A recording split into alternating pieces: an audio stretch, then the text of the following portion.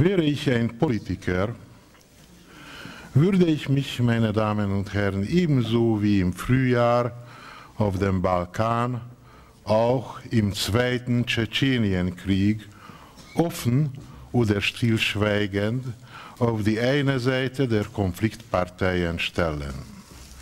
Doch da ich als Schriftsteller eine antipolitische Haltung einnehme, fühle ich mich einer dritten Seite verpflichtet, nämlich den Opfern, den Nichtkämpfenden. Da ich das Verstehen, das umfassende Verstehen der Menschen in ihren Kämpfen als besondere Berufspflicht der Intellektuellen begreife, als ein Gebot der Selbstachtung, ist es nicht mehr als logisch, dass wir den Wortführern Führern der Akteure und denen, die hinsichtlich, hinsichtlich des Verstehens das Credo der Menschenrechte zu ihren eigenen Sachen gemacht haben, ein Forum bieten. Ein Forum, ein Ereignis hatte keinen Wert, könnte jemand sagen. Meine Lektüre und die, und die Erfahrung haben mich gelehrt, dass sie sehr wohl einen Wert haben. Es ist schon vorgekommen, dass sich bescheidene Zusammenkünfte als der Beginn von Schicksalswenden erwiesen haben. Auf dem Feld der Werte sind Trümmerbeseitigung und Wiederaufbau angesagt. Im Frühjahr ist es den westlichen Demokratien gelungen, das eigene Wertesystem zu bombardieren.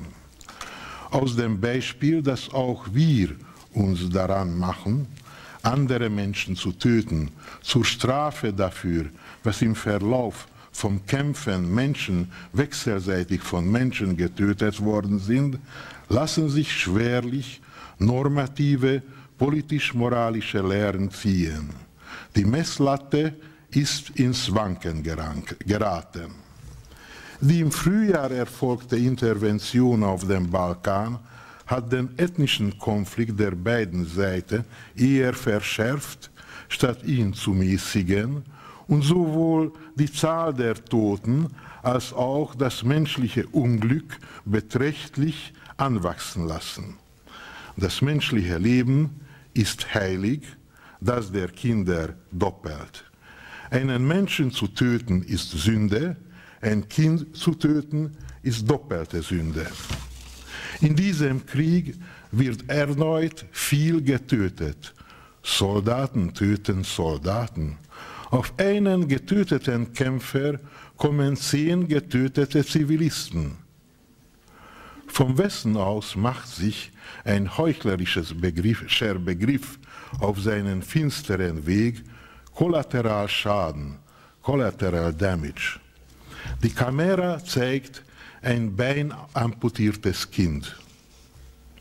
Das sei nicht gewollt gewesen bringen wir unser Bedauern zum Ausdruck. Wir hätten nur legitim und moralisch gerechtfertigt jenes ein schwarzer Schaf abschlachten wollen. Das sei es, was zähle, das sei wesentlich. Dass wir aber auch neun weiße Lämmer abgeschlachtet hätten, das sei lediglich ein Unfall, ein Versehen so die tonangebenden Politiker und Militärs. Ein naiver Mensch, der lieber seinen Augen als den Reden traut, sagt, nachdem er die Zahlen gegeneinander abgewogen hat, wenn unter zehn Getöteten ein Kämpfer ist, sind die neun übrigen wesentlich. Gegen sie wird der Krieg geführt. Das ist ausschlaggebend. Das Kollaterale ist das Zentrale.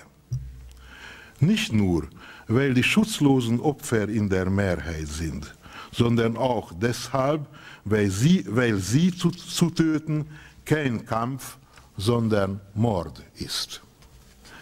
So viele auch den allzeitigen unsrigen die Daumen um des Sieges willen drücken mögen, für Kindersärge gibt es keine Rechtfertigung. Für die unschuldigen Opfer gibt es keine Rechtfertigung. Es bleibt sich gleich, von wem die Explosionen kommen, von Terroristen oder Antiterroristen, die den 19. ebenfalls Schrecken bringen. Eine Rechtfertigung gibt es selbst dann nicht, wenn die Ausdrücke wie nationale Befreiungskämpfer oder Kräfte zur Aufrechterhaltung der Ordnung benutzen. Die politischen Ziele, in deren Interesse die tschetschenischen Radikalen unzufrieden mit den Mitteln der politischen Arbeit gegriffen haben, sind nicht gute Ziele. Sie führen zur nationalistischen Diktatur. Die Taten werden durch ihren Preis qualifiziert. Liege den tschetschenischen Radikalen an Sicherheit und Freiheit der Iren, würden sie nicht herumballern und stattdessen das Risiko abwägen. Gefährdet ein Führer um der von ihm abgesteckten zivilen Ziele, Ziele willen die zivile Bevölkerung opfert er die seine, dann macht er sich auch dem eigenen Volk gegenüber schuldig. Er muss damit rechnen, dass Gewalt mit Gewalt beantwortet wird, dass die tschetschenischen Führer die Mittel des demokratischen, auf Verhandlungen basierenden, offenen und legalen Politisierens der gewaltfreien Selbstverteidigung ausgeschöpft hätten, glaube ich nicht. Selbst das Mitgefühl mit den Opfern kann uns nicht zur moralischen Unterstützung der bewaffneten Separatismus verpflichten. Was nun die russische Politik angeht, so haben ihre Führer der Polizeieinsatz gegen einzelne Verbrecher zum Kampf gegen ein ganzes Volk umgewandelt, zur nationalistischen Strafexpedition einer Großmacht. Auch die russischen Führer bedauern die Kollateralschaden. Schäden. Die Heuchelei des Westen rechtfertigt die Hypokrisie der Russen nicht. Präsident Clinton und seine Umgebung hatten für den auf dem Balkan bewiesenen Heldenmut auch ihre innenpolitische Gründe.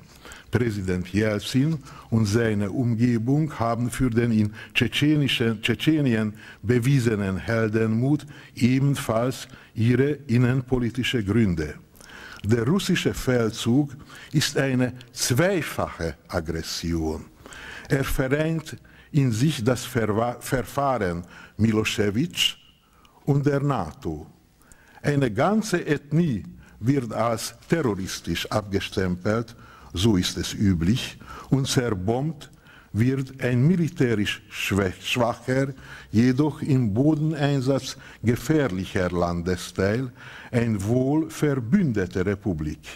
Ähnlich dem Beispiel im Frühjahr wird die neue Kriegstechnologie vorgeführt, statt Massenvernichtung die Kunst der präzisen Zielgenauigkeit, noch dazu ohne eigene Menschenverluste.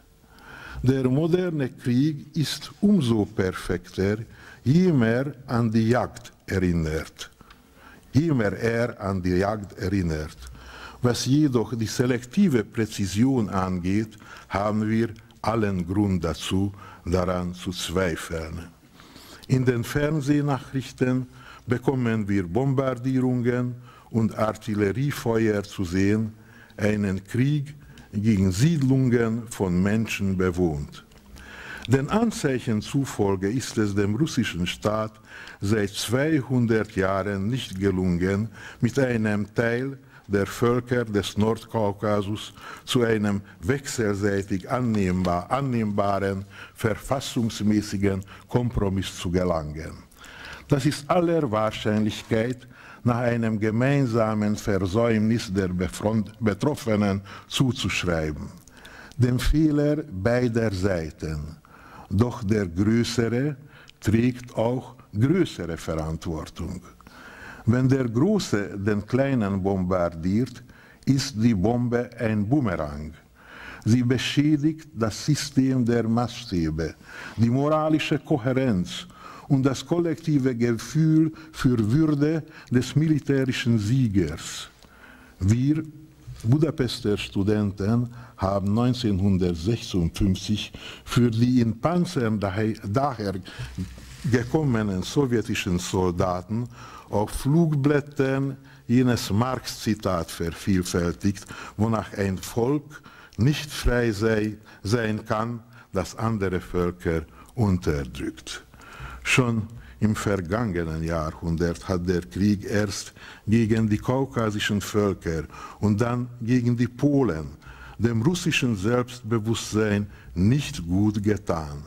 Der militärische Erfolg, der sich nicht auf das Feld der Politik ausdehnt, verursacht hernach in Kenntnis der Wirklichkeit, ohne die Überzeugung, richtig gehandelt, gehandelt zu haben, eine mit Werteverwirrungen einhergehende kollektive Neurose.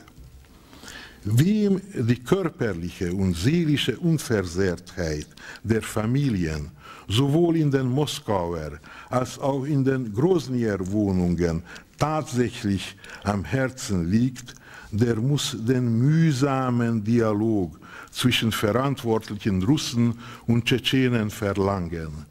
Unterstützt wird diese Forderung durch die These, dass wir ein Recht auf einen solchen Anspruch besitzen, weil jeden, ich betone jeden, Personen und Institutionen das Leben seiner Mitmenschen an jedem Punkt der Erde etwas angeht. Global, sagen wir lieber universal, entsprechend der allgemeinen Erklärung der Menschenrechte.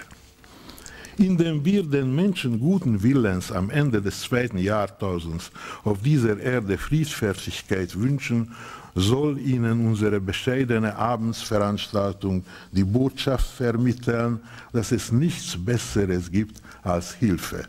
Und wenn es das Schicksal mit sich bringen sollte, wenn sie die Möglichkeit dazu haben sollten, dann schützen sie die Opfer und helfen sie ihnen, vor allem den Kindern, die von unseren Fehlern noch frei sind. Wo die Politiker nicht vorankommen, dort können die Hilfsorganisationen etwas erreichen, ist doch selbst ein einziges Menschenleben ein großartiges Etwas. Durch freundliche Vermittlung von Rupert Neudeck und Kap Anamur leiten wir hier eine Spendenaktion zugunsten der Verwundeten, der Kinder und der darauf angewiesenen Erwachsenen in Tschetschenien ein. Allen, die gekommen sind, auf der Bühne und im Zuschauerraum, danke ich für ihr Erscheinen. Ich, wie Ihnen nicht entgangen sein dürfte, habe meine eigenen Gedanken zum Ausdruck gebracht. Tun Sie ein Gleiches. Eine Akademie der Künste kann gerade darin, im Gegensatz zur zeitgenössischen Geschichte, ihre besondere Berufung finden, dass sie persönlichen Sichtweisen Raum gewährt und durch deren Gegenüberstellung die Kunst würdiger Dialoge pflegt. Ich übergebe das Wort an Eckhard Maas. Er ist Gründer und Vorsitzender der Deutsch-Kaukasischen Gesellschaft in Berlin und auch Sänger der Lieder von Bulat Okudjava. Zu DDR-Zeiten kannte man ihn vor allem wegen seines literarischen Salons in Pankow, ein Treffpunkt für Dissidenten, Schriftsteller, Liedermacher. In seiner Küche traf sich Ost und West.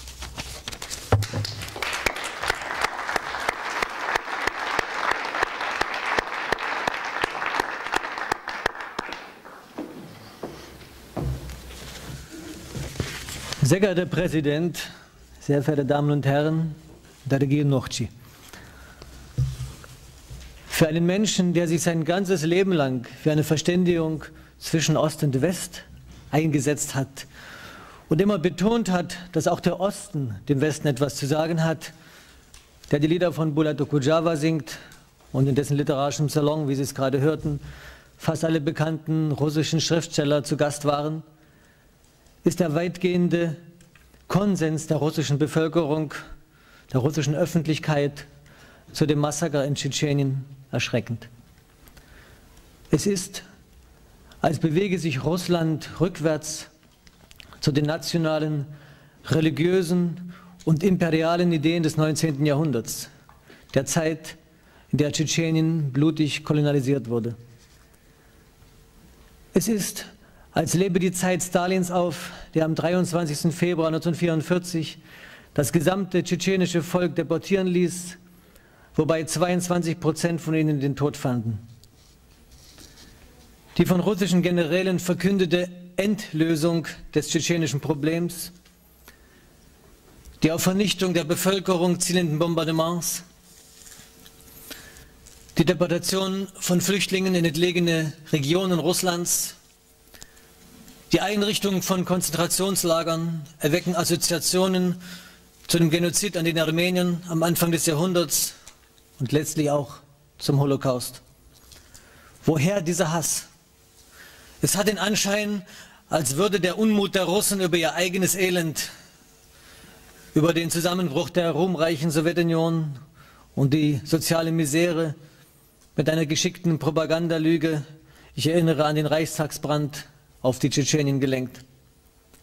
Abgesehen von der Revanche für die Niederlage von 96 und die Revanche für Kosovo, die täglich von russischem Fernsehen betont wird, ist die Hauptursache für diesen Krieg, dass Tschetschenien nach der unter großen Opfern erkämpften faktischen Unabhängigkeit keine Unterstützung durch die Weltmächte erhielt und mit den Folgen des Ersten Krieges, der die gesamte Infrastruktur des Landes zerstörte und 100.000 Tschetschenen bereits das Leben kostete, alleingelassen wurde.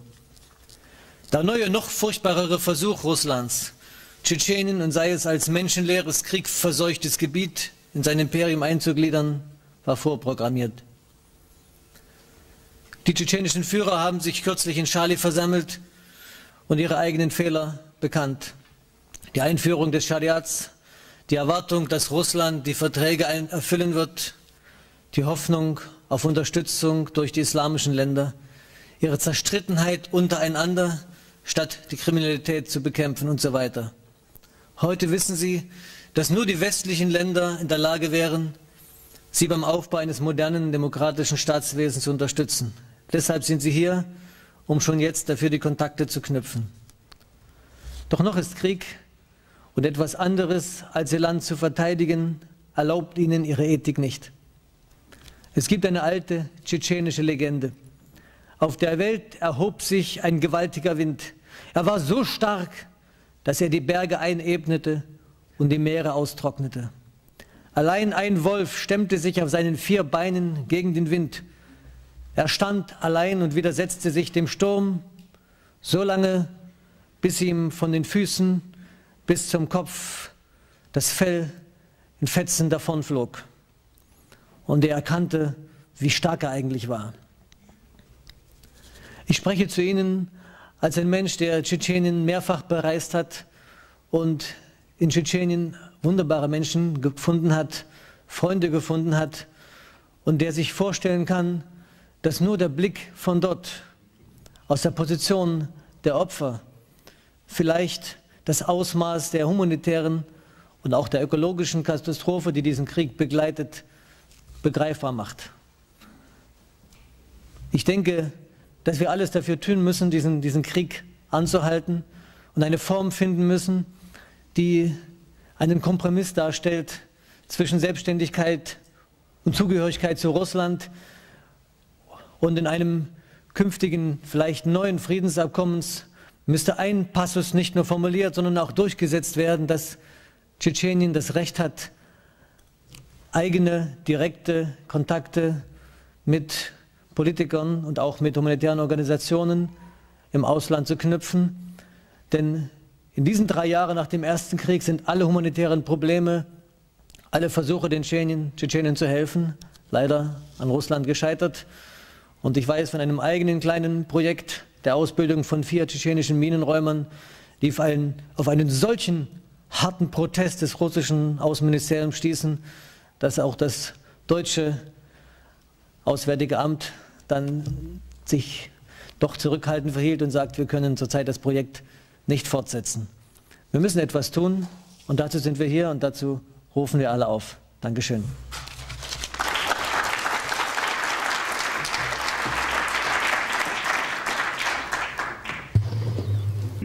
Schönen guten Abend äh, auch von mir. Ich freue mich, dass ich hier bei Ihnen sein kann mit all den Gästen äh, hier bei uns auf dem Podium.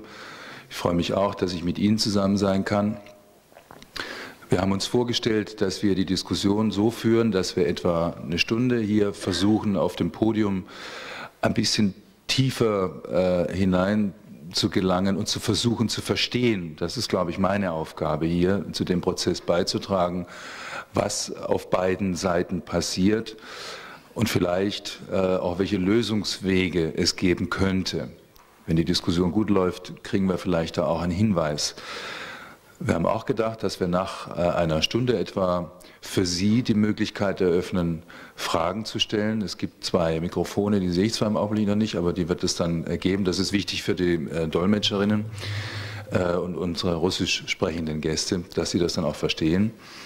Ähm, ich freue mich auch, weil ich schon im Publikum gesehen habe, dass eine ganze Reihe sehr informierter Kollegen in dem Fall ähm, hier sind, die möglicherweise auch aus ihrer Sicht noch Informationen beitragen können, was die Lage in Tschetschenien, in Ingushetien und auch in Russland angeht. Die Kollegen würde ich dann auch sehr herzlich bitten, einfach mit dazu beizutragen, dass wir vielleicht irgendeine Art von ähm, handhabbarem Verständnisprozess hier bei uns auslösen können und der uns dann auch äh, ermöglicht, vielleicht dann auch auf die eine oder andere Weise zu handeln. Zu meiner Person, ich bin äh, Korrespondent in Moskau. Ähm, ich war in den Jahren 91 bis 95 äh, in Moskau als ARD-Korrespondent, habe äh, Gelegenheit gehabt, aus dem ersten Tschetschenienkrieg schon zu berichten und bin seit knapp zwei Jahren jetzt wieder in Moskau, nachdem ich da in Deutschland gearbeitet habe und habe das äh, gemeinsam mit allen Opfern, das ich nicht bin, aber doch auch äh, jedenfalls ein gewisses äh, Unwohlsein aus dem zweiten Tschetschenienkrieg nun ebenfalls zu berichten. Natürlich habe ich wie alle die Hoffnung gehabt, dass der erste ähm, dass es das dann war und dass man einen anderen Weg findet. Das war leider nicht der Fall. Der zweite ist, ähm, und ich denke, wir werden das versuchen auch ein bisschen herauszuarbeiten, um vieles fürchterlicher, als es der erste Tschetschenienkrieg war. Und auch der war schon ein äh, entsetzlicher Krieg. Ich bin gebeten worden, den Informationsstand, den ich habe, ich war in den, in den letzten äh, zwei Monaten dreimal insgesamt äh, im Krisen- und zum Teil auch im Kriegsgebiet, äh, habe versucht darüber zu berichten, auch in der ARD, aber nochmal zusammenfassend. Ähm, äh, nur in einigen Schlagworten, das Elend der Flüchtlinge ist empörend, man kann es nicht anders sagen. Ähm, es war zu unterschiedlichen Phasen unterschiedlich empörend, aber es war von Anfang an empörend. Ähm, vor allem dann, als die Hauptroute geschlossen worden ist, am sogenannten Kafkas 1, am äh, Kontrollpunkt Kaukasus 1. Das war die Hauptroute aus Grozny heraus nach Ingushetien für Frauen und Kinder im Wesentlichen und für alte äh, Menschen, um diesem Krieg zu entkommen. Diese Straße ist dann geschlossen worden, übrigens auch äh, für die Presse. Das heißt, man wollte, so ist das aus meiner Sicht nur zu interpretieren, natürlich keine Zeugen mehr haben, keine, in dem Fall, was das Fernsehen angeht, keine Bilder mehr haben, keine schreibenden Kollegen, die dort Informationen sammeln konnten, um sie weiterzugeben. Äh, ab da war es auch für die Journalisten lebensgefährlich zu versuchen, diese Informationssperre zu öffnen. Ähm, es war eine fürchterliche Situation, insbesondere auf der tschetschenischen Seite dieses Kontrollpunktes äh, haben sich Hunderte von Frauen und Kindern versammelt und wollten durch. Aber die russische Armee hat das, ähm, ich kann das nicht anders sagen, in einer, auf eine sehr erbarmungslose Weise nicht ermöglicht. Äh, es ist dann nach einer knappen Woche ermöglicht worden, allerdings äh, mit einer äußerst langsamen Abfertigung. Auf der anderen Seite, also auf der tschetschenischen Seite, sind Menschen gestorben, die es nicht mehr geschafft haben, nach Nasran, also in Richtung Nasran, das ist die inkushetische Hauptstadt, zu kommen, um dort wenigstens nicht beschossen und bombardiert zu werden. Eine vergleichbare Situation habe ich im ersten Tschetschenienkrieg nicht erlebt. Das war in der Tat aus meiner Sicht eine neue Qualität, äh, die es bis dahin nicht gegeben hat. Im ersten Tschetschenischen Krieg war es immerhin noch möglich. Es war zum Teil äußerst gefährlich ähm, für die zivile Bevölkerung zu fliehen, aber es war jedenfalls auf die eine oder andere Weise noch möglich. Ähm, ein zweiter Punkt, äh, den ich noch mal gerne unterstreichen würde, äh, ist die Frage des Waffeneinsatzes, was ich dort gesehen habe, ähm, weil die russische Führung gesagt, es ist ein Kampf gegen Terroristen. Ich will einfach nur sagen, welche Waffen dort eingesetzt werden. Das sind schwere Raketenwerfer. Graz nennen sich die äh, auf Russisch. Die sind in der Lage, 40 Raketen in einer Minute abzuschießen. Äh, und das sind Flächenwaffen. Das sind Waffen, die Dörfer umflügen, ganze äh, Sportplätze von dieser Fläche wenn man das so will. Das sind also in gar, keinem, in gar keiner Weise Waffen, die auf einzelne Menschen zielen. Das kann gar nicht das strategische Ziel sein, wenn man solche Waffen einsetzt, schwere Haubitzen, 120 bis 150 Millimeter Geschosse, also auch äh, Vernichtungswaffen, die nicht auf Einzelne äh, gerichtet sind. Äh, die Luftwaffe setzt Bomber äh, SU-25 ein, und es werden dort auch Bombenteppiche äh, gelegt, das heißt also Flächenbombardements. Auch das ähm, spricht äh, gegen die These. Ähm, eine weitere Information, äh, Sie konnten das vielleicht verfolgen, es hat auf dem Marktplatz von Grozny ähm, einen Raketenangriff gegeben. Ich selbst war da nicht äh, zu, an diesem Tag. Ich war ganz kurz davor in Grozny gewesen, ähm, aber wir haben sofort Bilder von tschetschenischen Kollegen äh, bekommen. Und danach und nach Augenzeugenberichten, mit denen ich habe sprechen können, war es äh, ein Angriff auf den Marktplatz von Grozny, ein gezielter Angriff. Es ist gesagt worden von der russischen Führung, äh, dass dies ein Waffenmarkt gewesen sei. Das ist nicht wahr. Äh, ich kenne diesen Markt äh, ganz gut. Es hat in der Tat die Möglichkeit gegeben, ich habe das einmal gesehen, ähm, Kalaschnikows dort auch zu erwerben. Das ist aber überall leider der Fall. Es war aber jedenfalls in der Hauptsache nach meiner Kenntnis ein Markt, bei dem die normale Bevölkerung, sofern sie noch das Geld dazu hatte, ähm, ihre täglichen, ihren täglichen Bedarf einkaufen konnte. Dies war also aus meiner Sicht äh, ein Angriff, ein direkter Angriff auf die Zivilbevölkerung. Ähm, es war eine Verlautbarung der Regierung, äh, dass Zivilisten dort nicht getroffen worden seien. Das ist nicht wahr, das war eine Lüge, schlicht und einfach. Ähm, äh, der Ministerpräsident Putin sagte zu diesem Ereignis, es habe überhaupt keine äh, militärische Aktivität gegeben. Das hat sich dann im Lauf der folgenden 24 Stunden ein bisschen variiert, aber die Wahrheit ist dort nicht gesagt worden. Ähm, Vielleicht als letztes eine Parallele, auf die ich einfach nur hinweisen will, ähm, bevor wir dann, äh, bevor ich gerne die Gäste hier vorstellen möchte, ist, dass äh, gerade eben der OSZE-Gipfel in Istanbul war. Das hat mich persönlich erinnert an den OSZE, damals noch KSZE, dann umgetauften OSZE-Gipfel in Budapest. Äh, bei dem ich Gelegenheit hatte zu sein, ist eine sehr parallele Situation. Dort ist unterschrieben worden, auch die, die OSZE-Erklärung, die uns alle Mitglieder jedenfalls, äh, alle Staaten verpflichtet, die Menschenrechte einzuhalten, mit Minderheiten entsprechend umzugehen. Ähm, es hat äh, zu der Zeit, ich meine sechs oder sieben Tage danach, der erste Tschetschenienkrieg begonnen.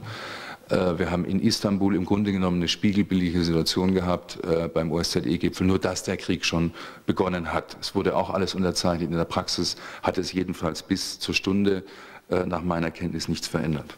Das als faktische Grundlage von meiner Seite her, aber ich bin sicher, dass unsere Gäste da noch sehr viel genauere, möglicherweise bessere oder tiefergehende Informationen haben. Ich würde deshalb ganz gerne den ersten Gast zu meiner Linken bei uns begrüßen, das ist Sergei Adamowitsch Kowaljow, ein russischer Menschenrechtler, ein Dissident, ein Mann, der äh, aufrechten Ganges zehn Jahre Haft hinter sich gebracht hat, ein Mann, der im letzten Krieg... Ähm, Was mit der Übersetzung? Ja, äh, не работает. Вы, вы получаете русский язык? Вы получаете русский? Да? We punished I did. Huh? Should Papush, we er ist jemand gewesen, der im ersten Tschetschenienkrieg in Grozny äh, als Duma-Abgeordneter, Menschenrechts, Menschenrechtsbeauftragter äh, gewesen ist, damals noch des russischen Präsidenten, äh, als dort die Bomben fielen. Und ich meine, äh, die Zeit sei es gewesen, die deutsche Zeitung, die Zeit hat ihn Sacharow von Grozny äh, genannt. So viel vielleicht zur, äh, zur Einführung, Sergej Adamowitsch. Warum ist das denn so, dass wir heute im Gegensatz zum ersten Tschetschenienkrieg praktisch keine Opposition gegen den Krieg in Russland haben? Wie ist das zu erklären? Це Объяснить непросто.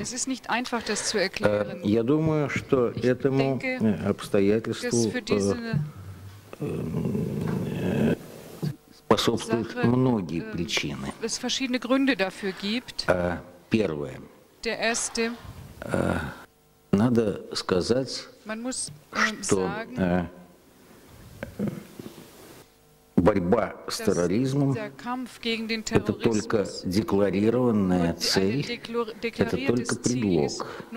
На самом деле идет, идет война против народа за, восстань, за восстановление власти Москвы в, на, э, на Северном Кавказе.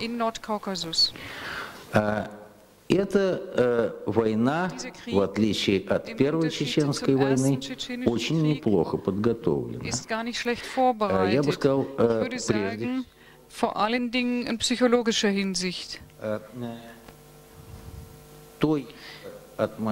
Die Atmosphäre, die gesellschaftliche Atmosphäre, einer fast einhelligen Unterstützung der Handlungen der Armee im, Nord im Nordkaukasus hilft, äh, dies äh, hilft eine, eine Angst, äh, die in der russischen Gesellschaft geschürt worden ist. Eine Angst, das, diese, diese Angst ist zum Teil berechtigt. Die äh, ständigen Mitteilungen über Verbrechen, die es in äh, Tschetschenien gibt, sind leider auch, auch auf realen Fakten begründet. Leider ist es so, dass die tschetschenische Macht nicht in der Lage gewesen ist und zum Teil auch nicht wollte, die äh, blutigen Handel also der, äh, also der Handel von Geiseln, also der sozusagen Handel mit Geiseln und mit ihrem Lösegeld. Wir wissen, dass die Zahl der Geiseln zum Teil zeitweise bis zu 1000 Menschen betrug. Der zweite Punkt. Äh, äh, In Tschetschenien было учреждено э, правосудие, ist eine, ein System der Rechtsprechung eingeführt worden, э, воспроизводящее das средневековую mittel, mittelalterliche Barbarei wieder einführte. Э, Es В ходу gibt Э, körperliche Züchtigungen unter den э, э, Strafen bei kriminellen Handlungen wird vorgesehen das Abhacken von Händen und Beinen und Füßen in der zentralen zentralen Platz von Grozny konnten die Zukunft des Landes die kleinen Kinder sehen, wie die Macht Verbrecher tötet.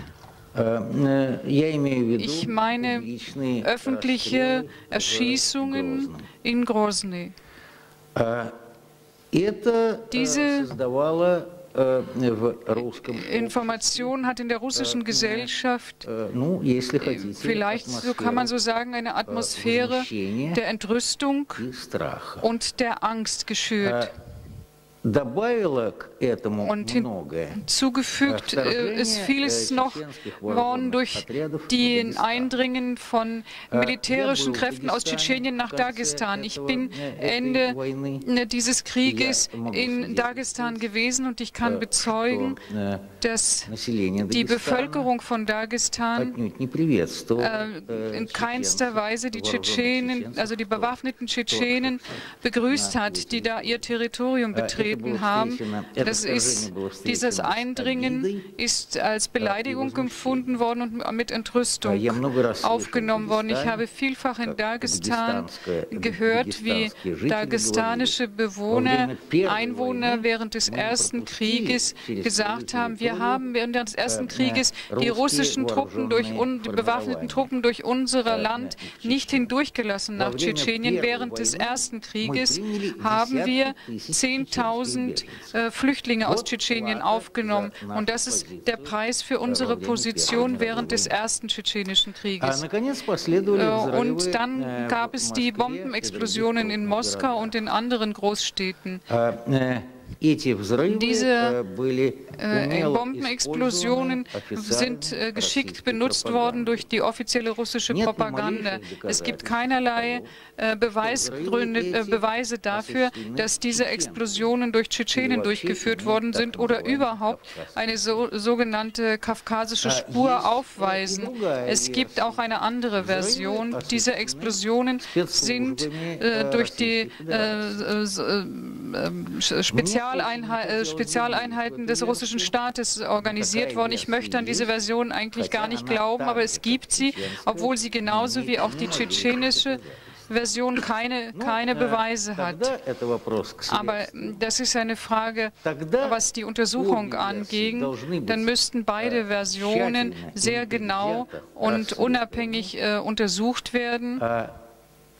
Aber wenn man nicht sagen kann, wer die Häuser in die Luft gesprengt hat in den Städten, in den russischen Städten, dann kann ich nur äh, äh sagen, voller Überzeugung, wer diese äh, Explosionen in seinen äh, schlechten Zielen benutzt. Das ist die föderale, föderale Regierung Russlands.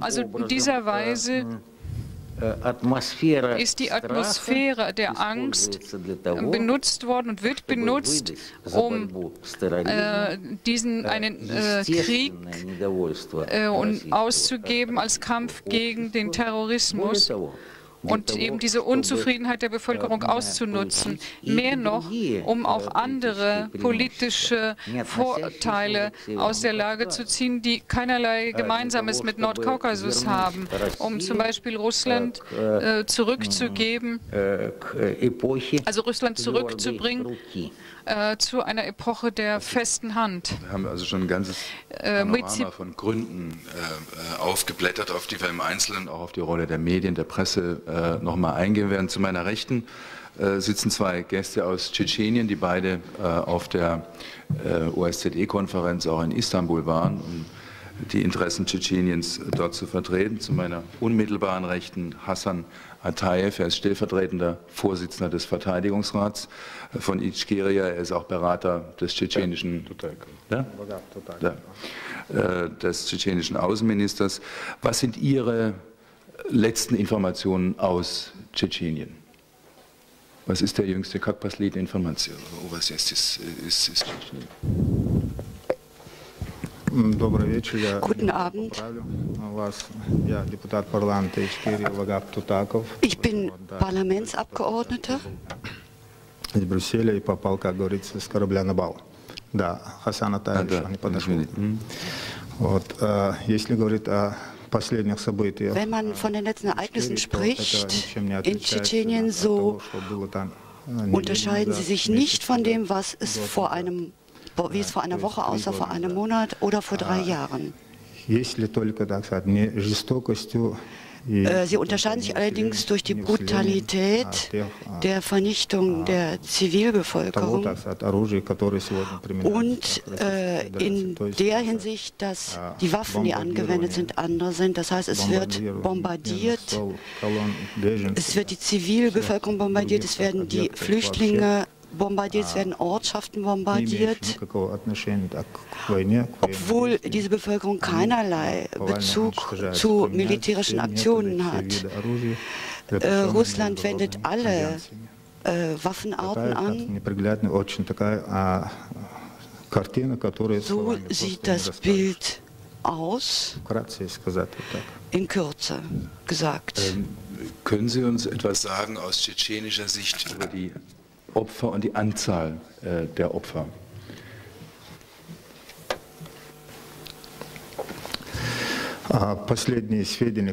Die nach den letzten Angaben, die natürlich schwer genau zu machen sind, ungefähr 5000 Tote,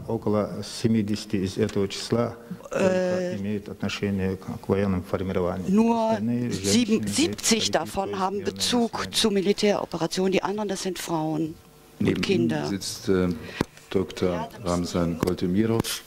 Er ist Mitbegründer der, der grünen Bewegung äh, Tschetscheniens. Ähm, er ist Mitglied des Kaukasischen Rates. Können Sie äh, uns etwas sagen über die ökologischen Auswirkungen des Krieges äh, im Augenblick in Tschetschenien?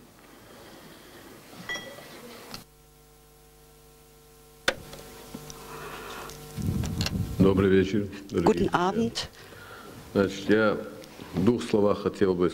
Ich möchte mit zwei Worten sagen, was etwas zur Meinung, äh, die die russische Presse äh, verbreitet, um das Tschetschenien-Problem herum. Ich halte mich kurz. Es gibt die Legende oder die Äußerung bei den Russen, wenn der Bär sein eigenes Kind fressen will, damit er es nicht erkennt, äh, wirft es in den Dreck und dann kann es umbringen. Sie haben verstanden, wovon ich spreche. Das heißt, es geht die ökologische Situation, die sich jetzt auftut, die sich auf die Gesundheit der Bevölkerung auswirkt, die wurde 95 klar, das sind Erkrankungen, die auf diesem Schema dargestellt sind. Das heißt, eine starke Erhöhung von Krankheiten, und zwar besonders zu Friedenszeiten. Wir sind der Meinung, dass das ein Zeichen dafür ist, dass die russische Regierung ihre äh, Versprechung nicht eingehalten hat. Das ist das Erste. Und das Zweite, was die Ökologie betrifft, heute im Unterschied zum vorigen Krieg bombardiert Russland mit Raketen alle Objekte, und, und zwar nicht nur Objekte der sozialen Infrastruktur, sondern auch Industrieobjekte. Äh, Luft, äh, Boden, Bodenraketen Raketen und so weiter werden eingesetzt, Boden-Luftraketen. In Tschetschenien gab es 30 Prozent der gesamten Industrie, ganz Russland. Das alles wird vernichtet. Und diese ganze Chemiewerke, die Chemiepräparate, die dort konzentriert sind, treten aus treten in den Äther aus und das alles geht, fließt dann zum Kaspischen Meer. Außerdem, nach letzten Angaben, haben wir Informationen darüber, dass beschädigt worden ist der Haupt, äh, Hauptwasserleitung von Grozny. Andererseits ist beschädigt ein Chlorsystem. Außerdem wird die Situation auch dadurch kompliziert, dass auf dem Territorium Tschetscheniens eine sehr große Konzentration radioaktiver Abfälle konzentriert ist. So war das schon 1995. Diese radioaktiven Abfälle befinden sich nur, nicht nur in Grozny und in der Republik, sondern es gibt auch eine sehr große Lagerstätte die ist, befindet sich in Radon. Dort befinden sich 906 Kubikmeter radioaktive Abfälle. Und wenn die bombardiert wird, dann wird es natürlich eine radioaktive Strahlung austreten, und zwar über das ganze Kaspische Becken. Sie können sich anhand einer Zeichnung davon überzeugen, wie kritisch die ökologische Situation ist. Es kann, sie kann zu einer Katastrophe des gesamten Kaukasus führen. Danke. Sonja Margolina, russische Schriftstellerin, Publizistin, auch Biologin. Ähm, die seit, ich glaube, zwölf Jahren in Deutschland lebt. Äh, sie haben sie sicherlich schon verfolgt in einer der Zeitungen, äh, für die sie schreibt, sozusagen quer durch die auch politische, wenn man so will, oder politisch akzentuierte äh, Landschaft, was die Zeitungen betrifft. Frau Margolina, wenn man das alles weiß, und es ist ja auch kein Geheimnis, was wir hier jetzt besprochen haben. Das wird publiziert. Man muss sagen, leider mehr oder fast ausschließlich in den westlichen Medien, jedenfalls zurzeit, und nicht in den führenden russischen Medien. Wie erklären Sie sich denn, dass der Westen bislang letztlich so schwach reagiert hat auf das, was da geschieht? Der Westen äh, seine moralische Kraft im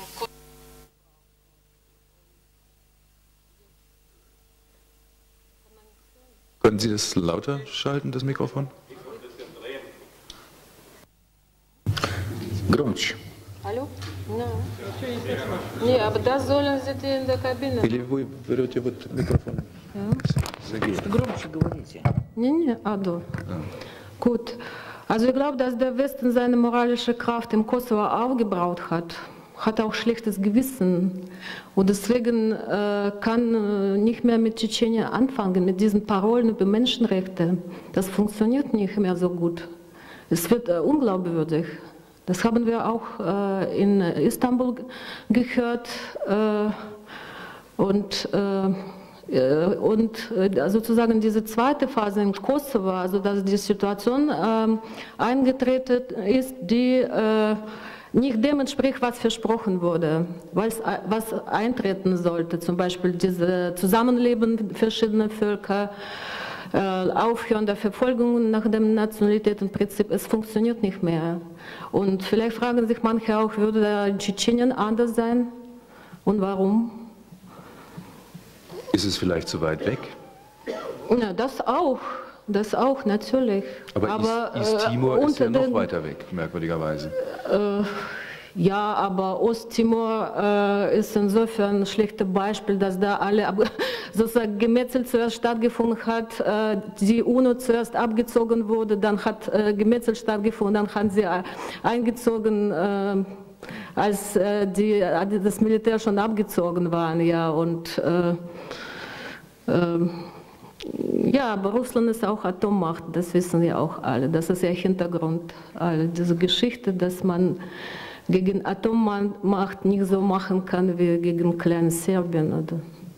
Als Christoph Buch, ich brauche Sie, glaube ich, in Berlin äh, nicht vorzustellen, als äh, Schriftsteller und politischen, ästhetischen, literaturästhetischen Essayisten und engagierten äh, politischen Staatsbürger, wenn ich das alles mal so sagen darf. Zwei Fragen an Sie. Was ist Ihre Beziehung zu Tschetschenien? Das ist vielleicht möglicherweise hier vielen nicht bekannt. Und das Zweite dann als, als Nachfrage, äh, sind wir schon so weit, dass man sagen muss, äh, Menschenrechte in der Gegend Tschetschenien, aus welchen Gründen auch immer, spielen keine Rolle und anderswo spielen sie eine Rolle. Und wie unterscheidet man das? Äh, ich war zweimal in Tschetschenien. Können Sie mich hören? Geht das Mikrofon, ja? Äh, 1995 und 1996 während des sogenannten Ersten Krieges, einmal für die Wochenpost, einmal für die Zeit. Und ähm, was mich schockiert hat, war nicht so sehr die Zerstörung, die mit jeder Welle des Krieges, der über Tschetschenien hinwegging, schlimmer wurde und inzwischen nun einen Grad erreicht hat, der wirklich die Vorstellungskraft übersteigt. Es, wird, es wurden ja bereits zerstörte Städte immer wieder neu zerstört. Das habe ich schon 1996 gesehen, äh, als Grozny in Ruinen lag. Und, aber für mich war eigentlich das Traurigste die Rückkehr nach Deutschland und die Indifferenz der öffentlichen Meinung, ja sogar meiner politischen Freunde gegenüber diesen Vorgängen. Im Vergleich zu den äh, Menschenmengen, die gegen den Kosovo oder den Golfkrieg auf die Straße gingen, war das eine verschwindend kleine Minderheit, die sich für Tschetschenien interessierte. Und der Gipfel der Absurdität war für mich erreicht vor wenigen Wochen, als die Beweise sich verdichteten, dass dort ein Völkermord stattfand, der jeden Abend, dessen Folgen zumindest jeden Abend im Fernsehen zu sehen waren. Währenddessen beschäftigte sich die deutsche Öffentlichkeit mit der Lieferung, mit der geplanten Lieferung eines einzigen Panzers an die Türkei. Diese Lieferung eines einzigen Panzers an die Türkei hat mehr Empörung ausgelöst bei Parteien in der öffentlichen Meinung in Deutschland als der Völkermord, der dort täglich fortgesetzt wurde. Offenbar wog dieser eine Panzer schwerer als die Tausende von Panzer, Artilleriegeschützen, Raketen, die äh, gegen Tschetschenien im Einsatz sind. Das ist die Absurdität, die mich beschäftigt, die ich mir übrigens nicht erklären kann. Vielleicht wirkt hier noch eine deutsch-sowjetische Freundschaft nach, die es ja nicht nur in Ostdeutschland gab, wo sie verordnet war, sondern die auch im Westen ihre Anhänger hatte, bis hinein in die konservativen Parteien. Man will Russland nicht wehtun. Dazu kommt das merkwürdige Argument, wenn man protestiert, macht man alles schlimmer was ich bestreite, denn das Schlimmste ist schon längst erreicht, sowohl was den inneren Zustand Russlands betrifft, wie auch die Auswirkungen dieser inneren Zerrüttung dieses Riesenreiches auf ein kleines, wehrloses Nachbarland wie Tschetschenien. Das Schlimmste ist erreicht und Proteste sind nötig. Nun könnte man sagen, in Istanbul wurde Stellung bezogen. Schröder und Joschka Fischer haben vehement protestiert. Gut, das ist ein Anfang, aber es ist nicht sehr viel, denn äh, ich habe den Verdacht schon lange, dass alle diese Reden mehr zur Ruhigstellung der öffentlichen Meinung bestimmt sind als zur Beendigung des Krieges. Das heißt, wir leben in einer Mediendemokratie, wo die Erklärungen der Politiker erstmal an die Adresse der Medien und der Öffentlichkeit gehen und der Wille, diesen Krieg zu beenden, äh, scheint mir nicht äh, stark genug.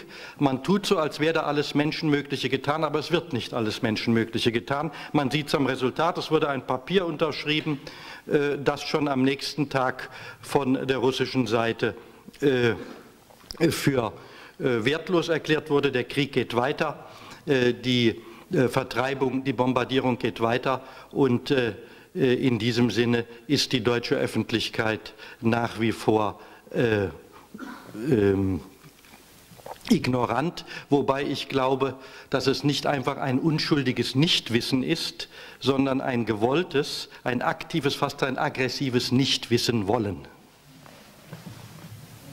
Ich würde ganz gerne, äh, ich denke, dass wir dann nachher nochmal darauf zurückkommen, was ist zu tun, wenn wir noch ein bisschen in den Fakten versucht haben, äh, uns hinein zu vertiefen und zu fragen, nochmal, äh, was auch mein, mein Interesse, auch Journalisteninteresse ist, wie kam es zu diesem zweiten tschetschenischen Krieg? Dann werden wir fragen müssen, wie kam es zu dem ersten?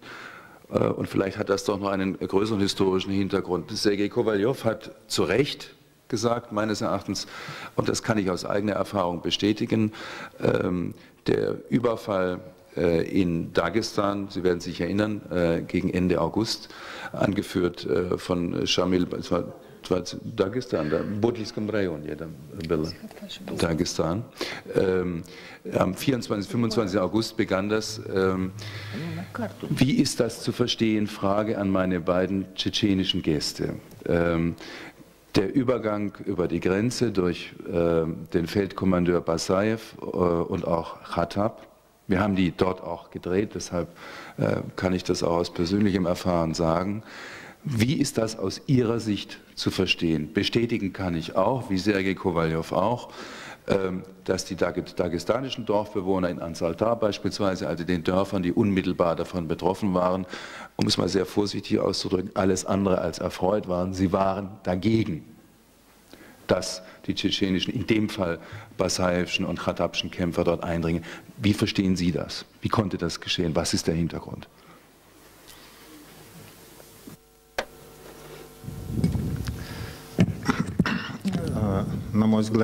Meiner Meinung nach sieht das Bild ein bisschen anders aus. Wir wissen mit Sicherheit und wir sind davon überzeugt, dass die Information, die um die ganze Welt geht, dass das eine verzerrte Information ist.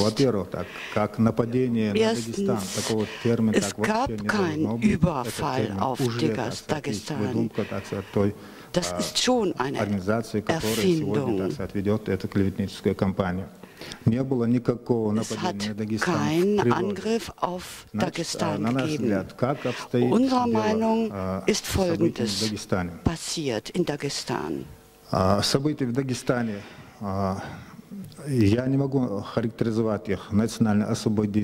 Ich kann das nicht als ein Aufflackern einer national befreienden Bewegung bezeichnen. Aber ich möchte doch Folgendes sagen, dass es doch dabei eine Rolle gespielt hat.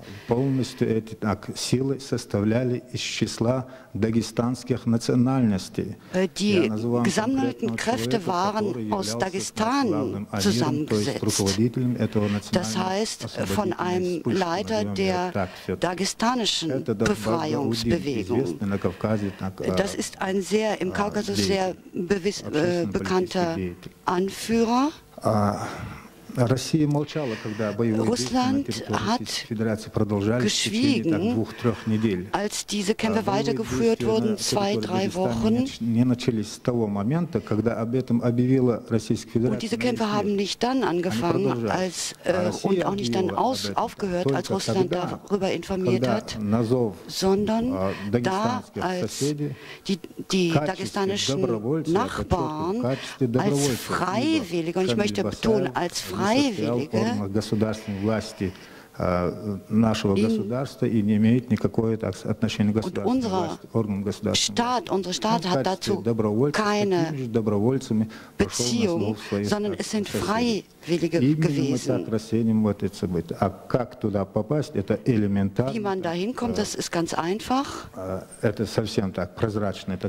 Das ist eine ganz durchsichtige Grenze. Es gibt dort keinerlei Zäune, keinerlei äh, Befestigungen. Das waren Freiwillige. Und Sie können sich vielleicht erinnern an die letzten Ereignisse in Bosnien und Herzegowina und in Sarajevo als Freiwillige und Söldner teilgenommen haben an Kämpfen in der Herzegowina. Warum darf Basajew nicht genauso anführen, Freiwillige, wenn er das mit seinem Gewissen vereinfachen kann. Wenn man ihn zu Hilfe ruft. Die Republik Ichkeria, die tschetschenische Republik, hat keinerlei Bezug dazu, hat nichts damit zu tun. Das war nur ein Vorwand, um uns das in die Schuhe zu schieben. Ich bin gegen den Terminus Angriff auf Dagestan. Wenn ich darf, klar äh, unterhalten. Meine Version unterscheidet sich von Ihrer.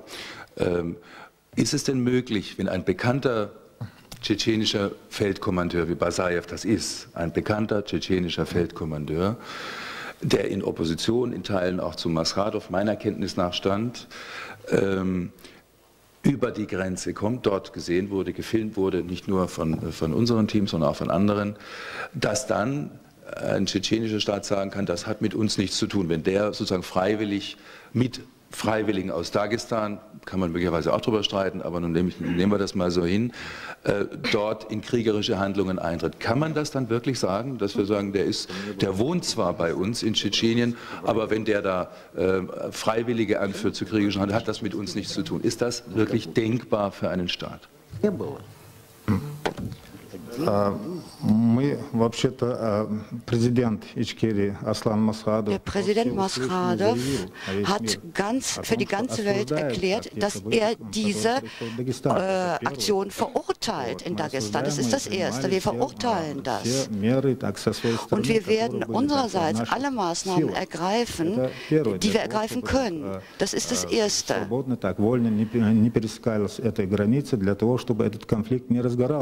Und wir werden alles Mögliche tun, damit dieser Konflikt sich nicht verschärft. Aber ein unabhängiger äh, Staat möchte nämlich nicht in neue kriegerische Abenteuer gestürzt werden. Das ist das Erste, was ich dazu sagen muss. Der zweite Umstand, wir haben das ja verurteilt, diese Ereignisse und die Beteiligung daran. Wir wussten, dass das zu einem negativen Ergebnis führen wird und dass unsere Macht damit in Misskredit kommt. und dass das zum Vorwand genommen werden wird, um das anzuzetteln, was jetzt läuft. Wir verurteilen das, wir unterstützen das nicht. Wir tun alles, was wir können. Hans, Hans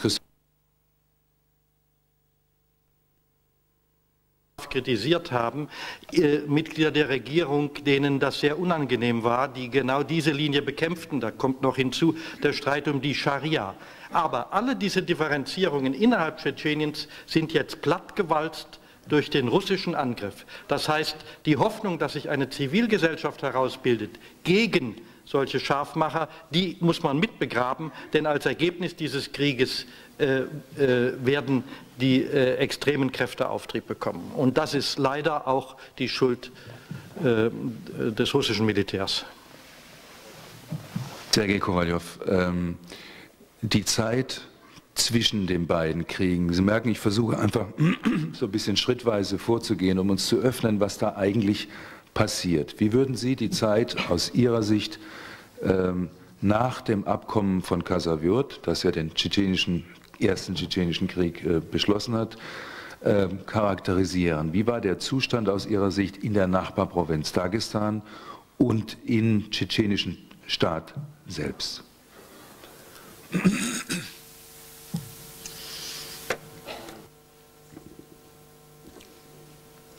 Hallo, ich höre nichts. Es ist nichts zu hören.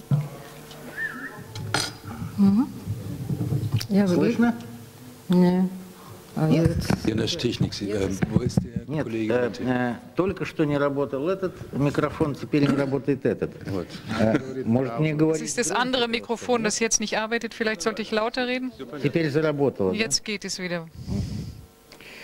Э, ich wiederhole, unsere Diskussion entwickelt sich etwas seltsam. Э, Mir scheint, dass es keinerlei Gründe dafür gibt, daran zu zweifeln, dass aus Tschetschenien ein Überfall ein äh, Eindringen nach äh, Dagestan stattgefunden hat. Ich spreche darüber nicht äh, aufgrund von in der Tat nicht sehr wahrhaften russischen Presse und schon gar nicht sozusagen der ähm, Lügeninformation der offiziellen Kanäle. Ich war einfach in Dagestan und ich weiß, dass es keinerlei äh, dagestanische Freiwillige gegeben hat dort, vielleicht mit Ausnahme einiger Einzelner sozusagen einzelne Dagestaner, äh, extreme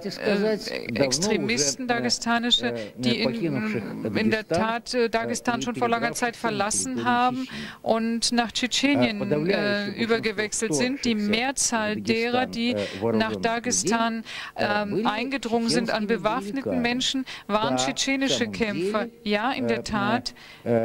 Basayev war in dieser Zeit formell äh, nicht im Besitz, also nicht, äh, hatte keine äh, politischen Ämter, aber er war Brigadegeneral im Übrigen. Aber es geht eigentlich gar nicht darum, Дело, дело состоит, суть нынешнего das Wesen der gegenwärtigen furchtbaren Situation besteht nicht darum, äh, zu klären, wer э, Schuld hat, äh, wer den Hauptschuld trägt in Dagestan, sondern es geht darum zu klären, was passiert eigentlich gegenwärtig. Gegenwärtig ist die russische föderale Regierung und benutzt einen Vorwand, nur einen Vorwand, ich unterstreiche das, des Kampfes gegen den Terrorismus und führt einen furchtbaren Vernichtungskrieg. Anders äh, kann man in ähm, äh, Berg ähm, Tschetschenien gar nicht kämpfen. Mil Militärfeldzüge sind anders äh, zum Scheitern verurteilt, denn in Tschetschenien gibt es einen Partisanenkrieg. Man wird einen Partisanenkrieg führen und der ist nicht zu gewinnen. Die äh, russischen Generäle führen einen Vernichtungskrieg und wollen alle, äh, äh, alle Städte und Siedlungen vernichten. Anders kann man gegen Tschetschenien nicht kämpfen. Ich wiederhole, die russische Regierung hat weit gesteckte Ziele, die sich in keinster Weise nur mit Nordkaukasus beschränken denken lassen. Nordkaukasus ist nur das blutigste Terrain, wo die russische politische, die gegenwärtige russische politische Evolution sozusagen weiterentwickelt wird. Dieses Bestreben, sich zurückzukehren zu, einem, zu einer totalitären Ordnung, einer Ordnung, die eine feste Hand voraussetzt. Und es ist die, die, die Lüge, die von Seiten des offiziellen Moskaus kommt, hat die Bedeutung nicht nur für Nordkaukasus und nicht nur für uns in Moskau, sondern sie hat eine große Bedeutung und trägt eine Gefahr in sich, auch hier äh, in, für, für das Zentrum Europas. Sie hat einen globalen Charakter, denn wenn Russland sich sozusagen rückentwickelt, dann wird das sehr furchtbare Folgen in der ganzen Welt haben. Es muss darum gehen, auch darüber zu sprechen, was die Reaktion eigentlich, was für eine Reaktion eigentlich der Westen zeigt. Ich meine jetzt nicht die äh, Öffentlichkeit, die westliche. Äh, Im Übrigen während des ersten tschetschenischen Krieges war die westliche Öffentlichkeit, äh, hat sie so reagiert, wie eine kulturvolle Gesellschaft auch zu reagieren hat im Unterschied im Übrigen zu den politischen Führern des Westens. Sie haben damals die Reputation von Jelzin geschont und haben und haben die tschetschenischen, das tschetschenische Blutvergießen 95, 96 ähm, sehr ähm, lasch behandelt. Und jetzt sind die politischen Führer im Westen etwas anders eingestellt. Ich denke allerdings, dass der Druck auf mein Land, äh, das sehr wichtig ist, äh, dass dieser Druck äh, zu gering ist. Ich denke, dass der Druck äh, sowohl auf Russland als auch auf Tschetschenien ausgeübt werden muss. Natürlich, auf Tschetschenien muss man nicht, von Russland, muss, von Tschetschenien darf man nicht verlangen, den Krieg zu beenden. Sie hat es nicht begonnen. unabhängig jetzt von dieser Aggression nach Dagestan. Tschetschenien hat keinen Krieg gegen Russland begonnen. Der Druck auf Tschetschenien muss einen ganz andre, ein ganz andere Aufgaben verfolgen. Er darf nicht, die, die Weltgemeinschaft darf es sich nicht erlauben, in ihrer Gemeinschaft ein Land aufzunehmen, wo die Macht nicht imstande ist, sich mit dem blutigen Business, mit dem fertig zu werden. Die, man darf uns auch keine Märchen erzählen. Gesamte Tschetschenien, auch die tschetschenische Macht eingeschlossen, auch Masradov eingeschlossen, weiß sehr genau, wer Geld verdient äh, mit solchen äh, Geiseln, wer sie foltert. Wer das nicht weiß, kann ich auch Namen nennen, äh, auch Namen der, des, der, der führende Kapitalist ist Barayev, der mit diesem Bluthandel Geld verdient. Das ist ein bekannter, allgemein bekannter Name und keinerlei offizielle Or äh, Organe und Stellen Tschetscheniens haben bisher irgendetwas gegen ihn unternommen. Die Weltgemeinschaft muss, darf nicht keinen Druck ausüben oder muss Druck üben, ausüben auf ein Land, das solche äh, mittelalterliche, barbarische Methoden ähm, äh, Strafen und Methoden anwendet. Das darf sich die Weltgemeinschaft nicht, nicht erlauben. Das ist die Linie des Druckes auf Tschetschenien. Wobei ich denke, dass es in Tschetschenien intelligente äh, Intellektuelle gibt und Kräfte gibt, die äh, wichtige Partner wären, produktive Partner äh, der Weltgemeinschaft. Ähm, wir sind eigentlich mit dem ersten Teil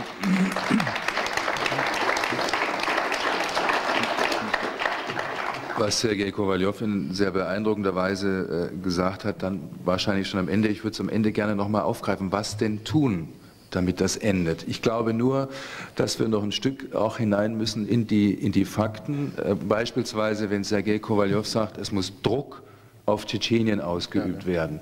War es denn so schildert er das, es ist auch in Teilen meine eigene Wahrnehmung aus mehreren Besuchen dort, für den amtierenden Präsidenten Masradov gar nicht mehr möglich, bestimmte Fraktionskämpfe, Differenzen äh, unter den Feldkommandeuren zum einen zu schlichten, war sein Einfluss zu gering und hat das nicht dazu beigetragen, dass solche Phänomene wie Entführungen, äh, auch das äh, weiß jeder Journalist, der da arbeitet, ähm, ausländische insbesondere, dass das äußerst gefährlich ist, dass man ganz bestimmte ähm, Maßnahmen ergreifen muss, um nicht gesehen zu werden, wer immer das nun genau ist, äh, der Entführungen vornimmt. Aber es zeigt doch, oder Frage an Sie, zeigt das nicht eine gewisse Schwäche des amtierenden Präsidenten und ist das nicht auch mit ein Beitrag, äh, dass wir jetzt in einer so desolaten Lage sind. Ich will äh, durchaus auch selbst unterstreichen, was Sergei Kowaljow äh, über die, das Vorgehen der russischen Führung gesagt hat. Das ist in meinen Augen auch so. Aber ist das nicht auch ein Faktor, weil er sagt, auf Tschetschenien Druck ausüben?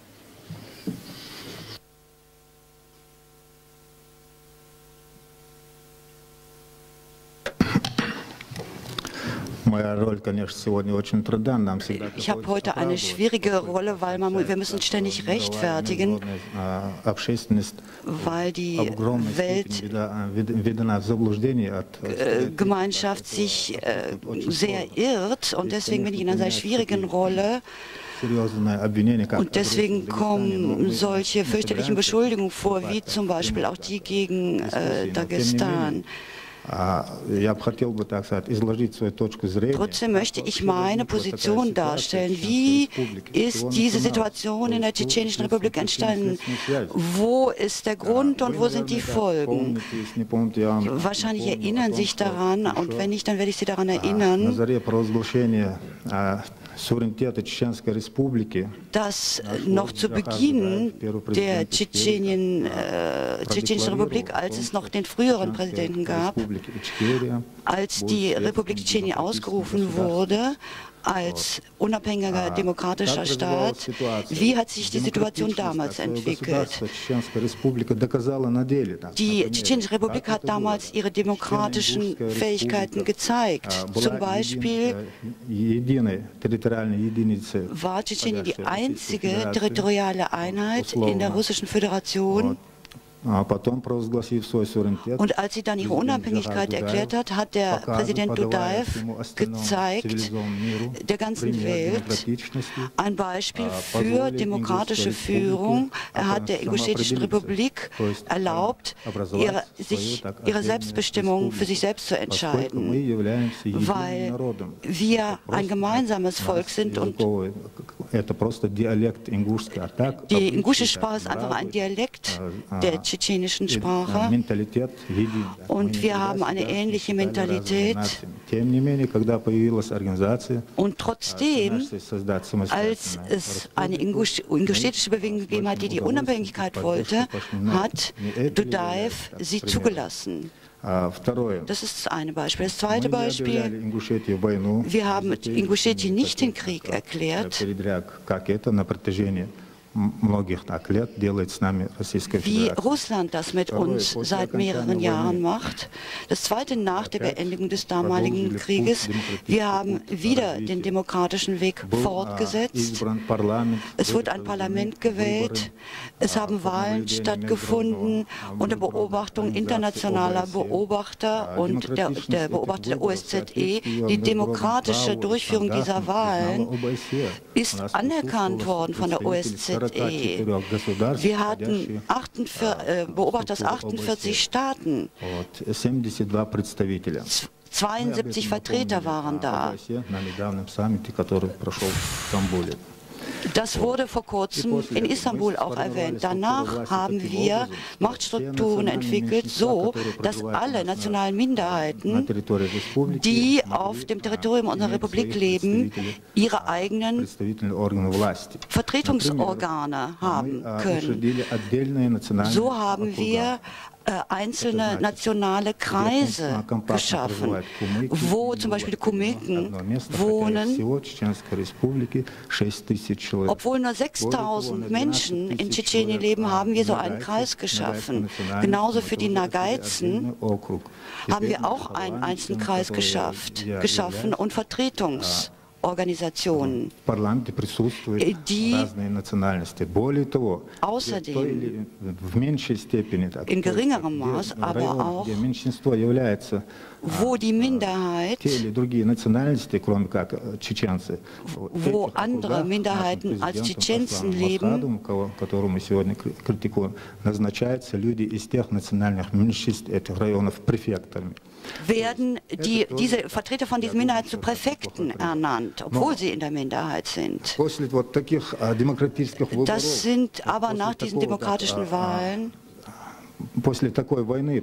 nach einem solchen Krieg, nach solchen Verlusten, wo die ganze Infrastruktur vernichtet ist, wo alle möglichen politischen, administrativen Probleme und so weiter da scheint es doch vielleicht für die ganze, scheint mir, dass als erstes die russische Föderation mit uns zusammenarbeiten müsste. Das haben wir, darauf haben wir gehofft. Und das war unser Fehler, dass wir darauf gehofft haben. Wir haben einen Vertrag mit der russischen Föderation geschlossen äh, über die nächsten politischen Entwicklungswege. Wir haben mit Dudaev, mit der Russischen Föderation, diesen Vertrag geschlossen. Und in der Situation, als die gesamte Weltöffentlichkeit sich von uns abgewandt hat, in erster Linie Russland und keinerlei Verpflichtungen äh, ausgelöst hat und alles um uns herum zerstört ist, wo es keine Wohnung gibt, da sagen dann einige Staaten aus ideologischen Gründen, das, da kritisieren sie dann den Khattab und so weiter. Da sind Staaten dann aufgetreten, die bestimmte Interessen im Kaukasus haben. Im Unterschied zu dem demokratischen Westen haben die nicht gepennt. Die haben bestimmte Gruppen finanziert religiöse Gruppen und so weiter, haben ihnen Geld zugeschustert. Sie haben sie vielleicht sogar mit Waffen versorgt, das ist auch möglich, und mit anderen Dingen. Auch äh, der, die Aufklärung Russlands hat eine Riesenarbeit geleistet. und deswegen hat unsere Macht enorme Probleme bekommen. Und unsere Schuld liegt nur darin, dass wir dem nicht haben Widerstand leisten können. Und zwar als erstes haben wir uns nicht wehren können gegen die Geheimdienste der ganzen Welt. Das ist das Wichtigste. Die Geheimdienste, die ihr eigenes Spiel gespielt haben, ihre auf eine bestimmte geopolitische Karte gesetzt haben.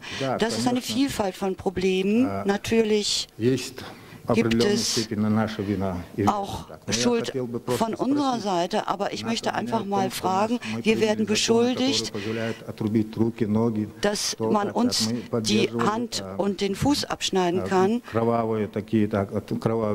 dass, äh, dass also es ein blutiges Business bei uns gibt. Wie viele Hände sind abgeschlagen worden? Wissen Sie auch nur von einem Beispiel so, solcher Abgaben? Abgehackten Hände. Stimmt das überhaupt? Jawohl, die Kriminalität ist gewachsen. Das ist ein Problem. Jawohl, das stimmt. Und äh, verschiedene extremistische und religiöse Gruppen nutzen diese Situation aus und die Macht schafft es nicht, damit fertig zu werden. Jawohl. Und das gefährdet die demokratische Entwicklung natürlich.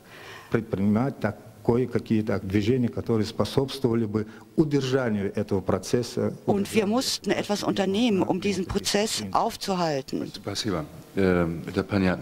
Was er sagt, э, kann man auch bestätigen, festmachen, dass hier eine ganze Menge Interessen äh, im Spiel sind, sicher auch geopolitisch, da sollten wir jetzt, glaube ich, kurz drauf kommen. Ähm, aber es gibt in der Tat und gab im russischen Fernsehen auf zwei Sendern gezeigt, ein sogenanntes äh, Video, in dem Szenen, Hinrichtungsszenen, äh, Folterungen in empörender Weise gezeigt worden sind. Und das ist dann auch benutzt worden, nicht um Zusammenhänge aufzuklären, sondern um Propaganda anzuschieben, ganz sicher ähm, als emotionales Mittel und nicht um sozusagen aufzuklären, sondern um Vorurteile zu schüren und sicherlich auch Kriegsstimmung zu machen. Das ist richtig. Trotzdem nochmal die Frage, äh, Sonja Margolina, Hans-Christoph Buch und Sergei Kowaljow, was wir da sehen. Und er hat ja gerade äh, auch darauf hingewiesen, zum Beginn der Unabhängigkeitsbewegung, als Boris Jelzin ja auch sagte, 1991 äh, unter anderem zu Dudajew, wenn ich mich recht erinnere, nehmt euch so viel Unabhängigkeit, wie ihr braucht, weil er selbst aus der Sowjetunion äh, ausgestiegen ist und die russische Föderation als Staat gegründet hat. Ist das, was wir da sehen, Frau Margolina und Hans-Christoph Buch, ein, ein Dekolonialisierungsprozess, ein weitergehender, also sozusagen ein, ein weitergehender, im Grunde die konsequente Fortsetzung des Zerfalls der Sowjetunion. Und das hätte ja im Kaukasus ja auch eine sehr lange Geschichte über einige hundert Jahre. Wie ist das aus Ihrer Sicht? Ja, das ist gut möglich. Das Problem ist natürlich, dass wir als Zeitgenossen nur über eine kurze Periode beurteilen können und nicht in diese historische Perspektive stellen. Ja? Dafür sind wir nicht zu weise und zu sehr betroffen durch unmittelbare Ereignisse, die da stattfinden. Ja, ich wollte noch was anderes sagen. Also wenn man äh, vom Druck äh, gleichzeitig auf Russland und auf Tschetschenien redet, äh, gibt es ja ein Problem. Also man weiß zumindest, auch wenn man Druck in Russland ausübt, ob es hilft oder nicht, ob es möglich ist oder nicht, das ist andere Sache. Also Tschetschenien ist als äh, der selbstständige Staat nicht anerkannt. Wer, wer dann Subjekt äh, dieses Einflusses? Äh, also so, wie kann man einen Druck ausüben? Wenn man aber Tschetschenien zu einem sel als selbstständiger Staat anerkannt wird, was ich äh, eigentlich nicht glaube, dass es möglich ist, muss man dann auch anerkennen, dass äh, Tschetschenien auch äh, Scharia hat oder die, die, Gesetze, die sie da äh, akzeptieren und keine Demokratie und keine Zivilgesellschaft. Also was mich äh, stört, das ist immer dieses Gerede von Demokratie und Zivilgesellschaft, was die Leute dann zwingt, sich zu rechtfertigen ständig. Wenn es nicht klappt, es klappt auch nicht in Kosovo, wieso muss man das irgendwie so suggerieren, dass da irgendwas entsteht, was äh, aus welchen Gründen auch immer nicht entstehen kann? Hans-Christoph Die Antwort auf Ihre Frage ist ja. Es ist ein gescheiterter Dekolonialisierungsprozess. Und vielleicht könnten England und Frankreich mal Russland erklären, wie man sowas macht, ohne solches Blutvergießen, obwohl das auch da nicht gewaltlos war. äh, es ist auch ein gescheiterter Demokratisierungsprozess in Russland selbst. Und ähm, ich möchte mich nicht beteiligen an der Verteufelung der Tschetschenen. Äh, Putin bezeichnet sie als Banditen und Terroristen. Ja, es gibt Mafia, es gab Entführungen, es gibt viele schreckliche Dinge dort, die es auch in Albanien gibt oder in Sizilien. Und auch dort gibt es dann eine Propaganda, die solche Völker insgesamt als Terroristen und Mafiosi äh, diffamiert. Und das finde ich nicht nur unfair, ich finde es auch politisch und historisch falsch. Denn äh, wichtiger sind doch die Fakten der Geschichte Tschetscheniens, das jahrhundertelang den Zaren Widerstand leistete. Das von, äh, gesamte Volk wurde von Stalin nach Mittelasien deportiert. Das ist der Hintergrund für diesen Konflikt. Und aus diesem Grund, aufgrund dieser Geschichte, nenne ich es einen Dekolonisierungsprozess. Tschetschenien ist genauso wenig eine russische Provinz wie Algerien ein französisches Departement gewesen ist. Und das hat Frankreich lange genug behauptet als Rechtfertigung des Algerienkriegs.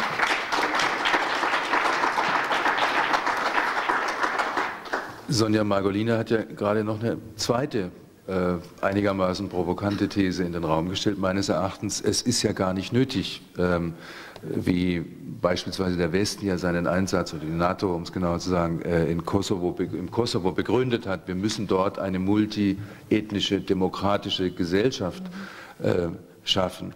Diese Begründung, wenn ich sie recht verstanden habe, ist gar nicht nötig, sondern eine dort sozusagen verwurzelte äh, Gesellschaftsform, ob die nun westlichen Maßstäben gerecht wird oder nicht, einfach zuzulassen. Wenn Sie darauf noch mal antworten würden, dann die Frage natürlich an Sergei Kowaljow. Ist das so aus Ihrer Sicht?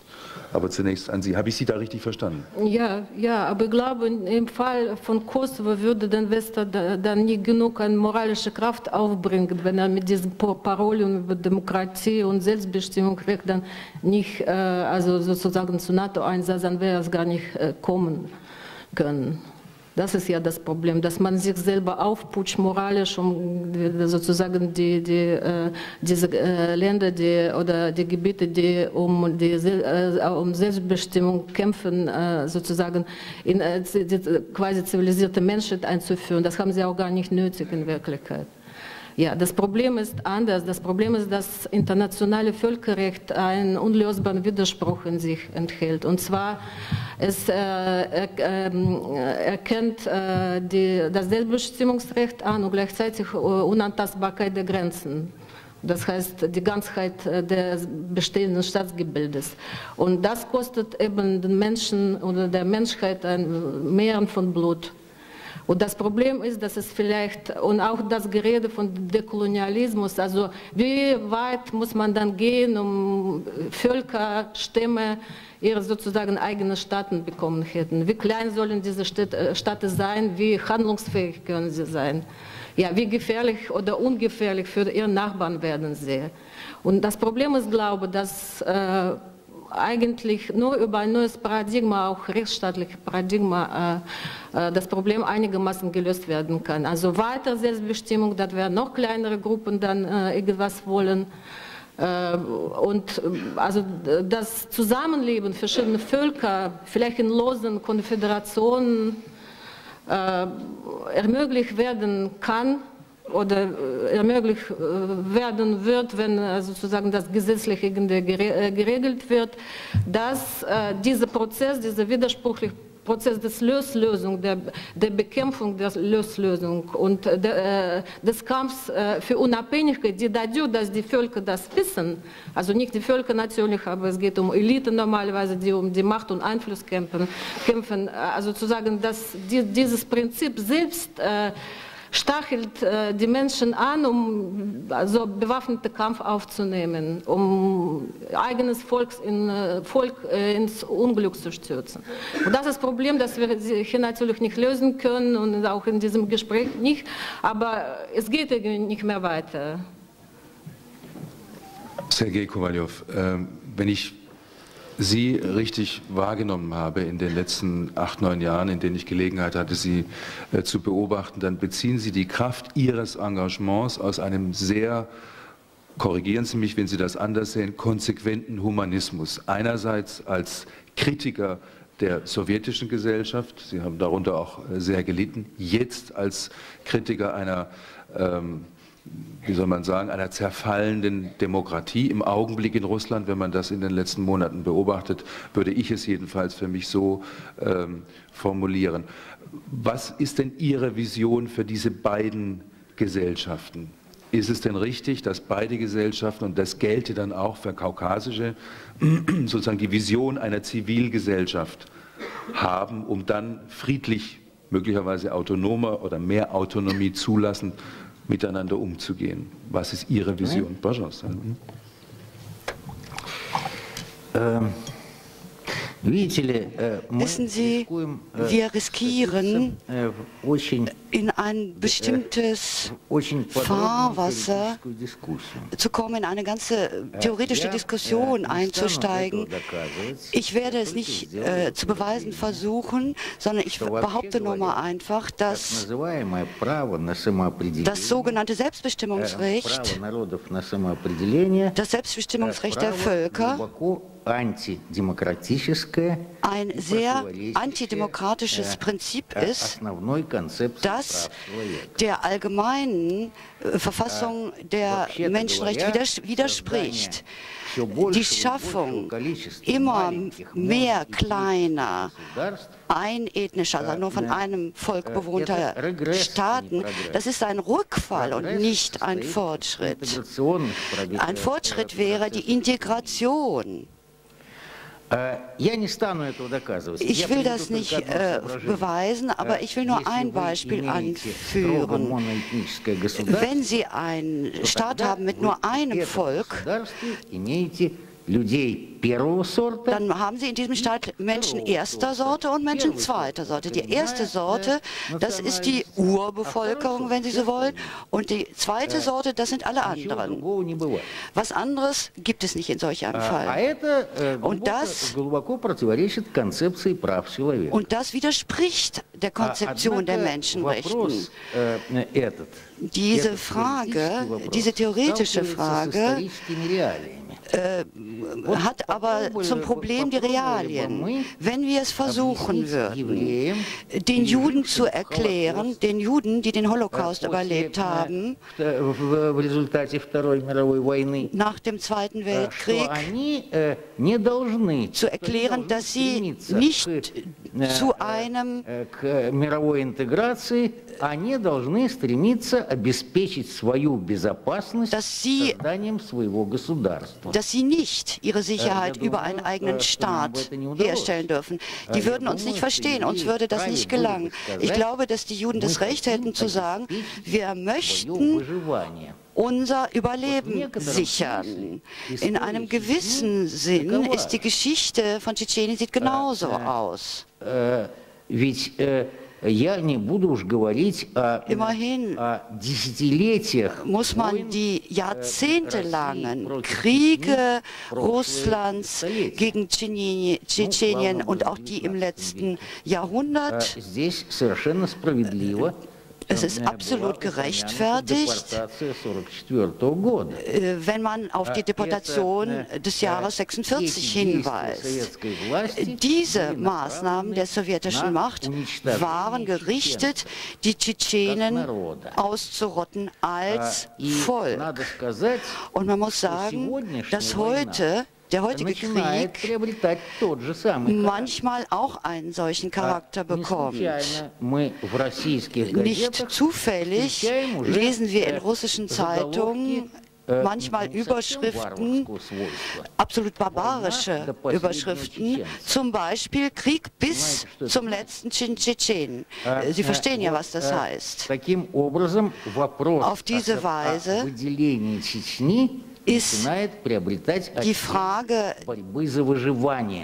wird die Frage der Unabhängigkeit oder des sich Abhebens der Tschetscheniens zur Frage des Überlebens.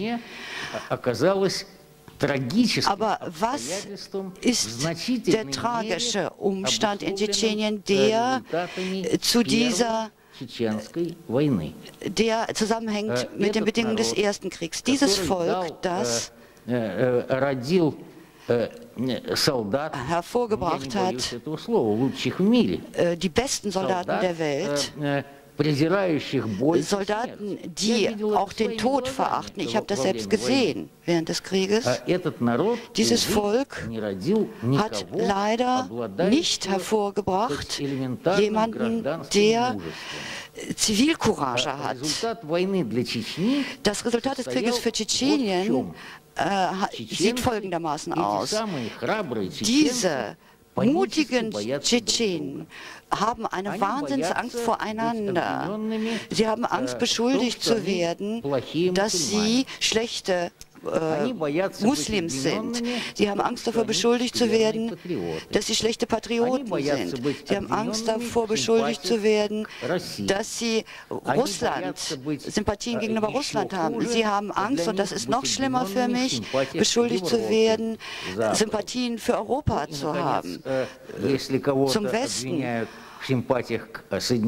Und wenn man jemanden beschuldigt, äh, dass er mit der USA sympathisiert, das heißt, er hat einfach seine Seele verkauft. Diese Bedingungen haben, so sind die Bedingungen nach dem Ersten Krieg. Und unsere, die Schuld der Russen liegt daran und auch die Schuld der Europäer, dass ein legitim gewählter Präsident Masradov keine Unterstützung bekommen hat. und dass er deshalb ohnmächtig war. Alle Bemühungen Masradova waren darauf gerichtet, einen Bürgerkrieg in Tschetschenien zu verhindern, sonst nichts. Und dafür hat er sehr teuer bezahlen müssen. Dieser Handel mit Geiseln und die schariatske Unverschämtheiten, das ist der Preis, den Maschadov hat zahlen müssen. Ich habe wirklich genug Gründe, zu sagen, dass Maschadov wirklich eine zivile zivilen Staat aufbauen wollen. Das hat nicht geklappt. Das ist ihm nicht gelungen. Und die Schuld Russlands ist sehr groß daran. Natürlich ist so ein ziviler Staat wie in Masradov wollte natürlich sieht nicht so aus, wie wir den uns vorstellen. Aber trotzdem wäre es ein laizistischer Staat, er hat die Anerkennung nicht bekommen, er hat keine Hilfe bekommen. Und wenn man von der Rechtsseite des Konfliktes spricht, dann, dann hat Russland sich so benommen, entschieden barbarischer benommen, wo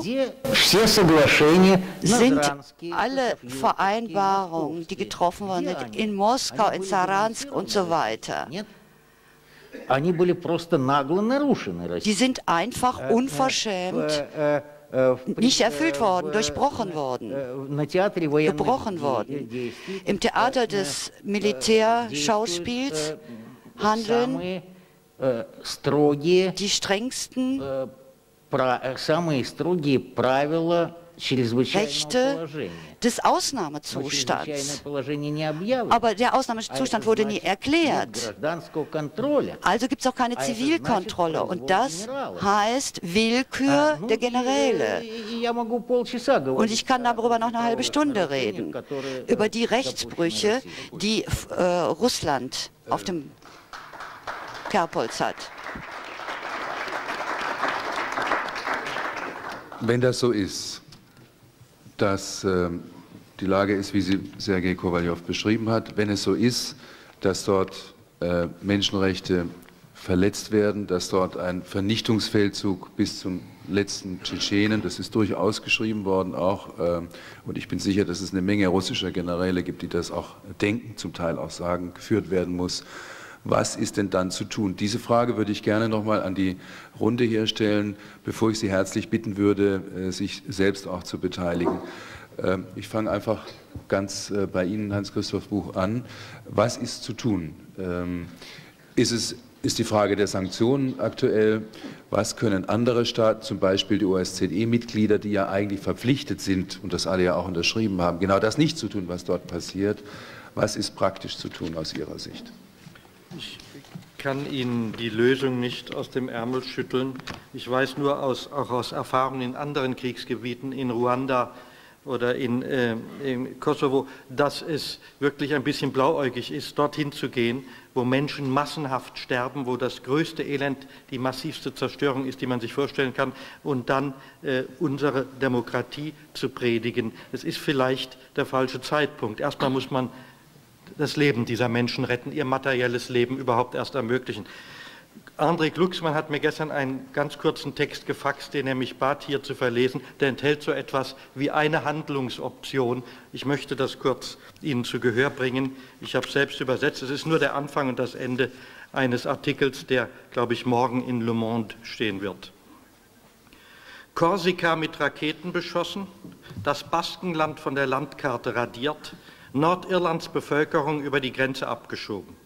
Fragezeichen. Wenn Jospin, Asnar und Blair den Kampf gegen den Terrorismus mit Jelzins Methoden führen würden, dann wäre überall in Europa ein Aufschrei der Empörung zu hören.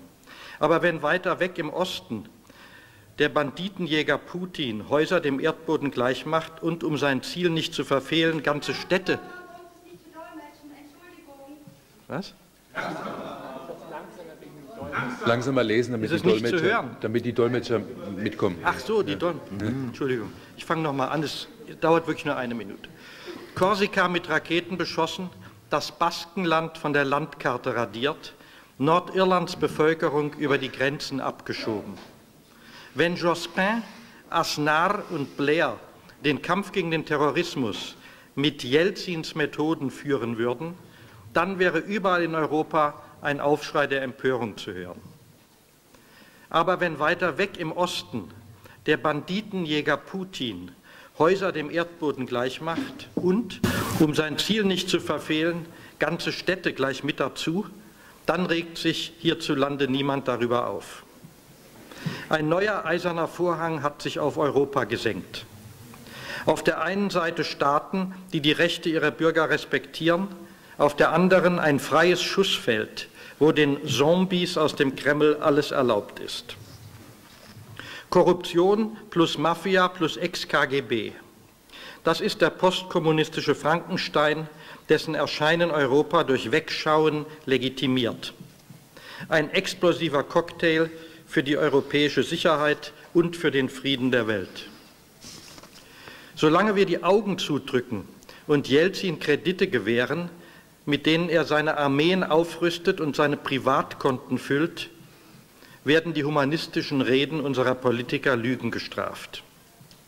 Wie lange wollen europäische Steuerzahler noch Massaker an Zivilisten finanzieren und den Aufstieg vulgärer Kriegsfürsten mit ansehen, deren Macht sich jeder demokratischen Kontrolle entzieht? Also daraus entnehme ich, dass ähm,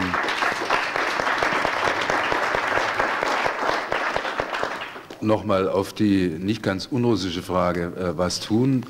Ähm, dem entnehme ich, dass Ihr Vorschlag beispielsweise wäre, zu sagen, eine, äh, Kredite nicht mehr zu bezahlen, etwa über den, über den IMF ähm, und weitergehende Sanktionen. Habe ich das richtig verstanden? Das ist der Vorschlag von André Glucksmann.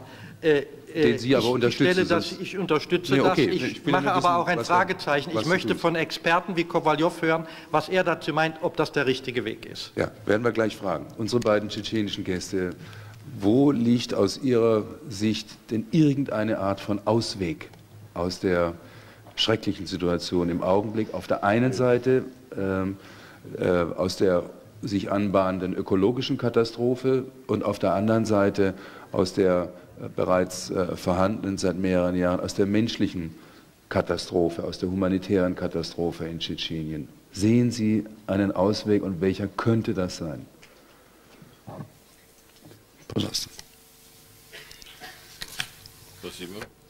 Äh, Dankeschön.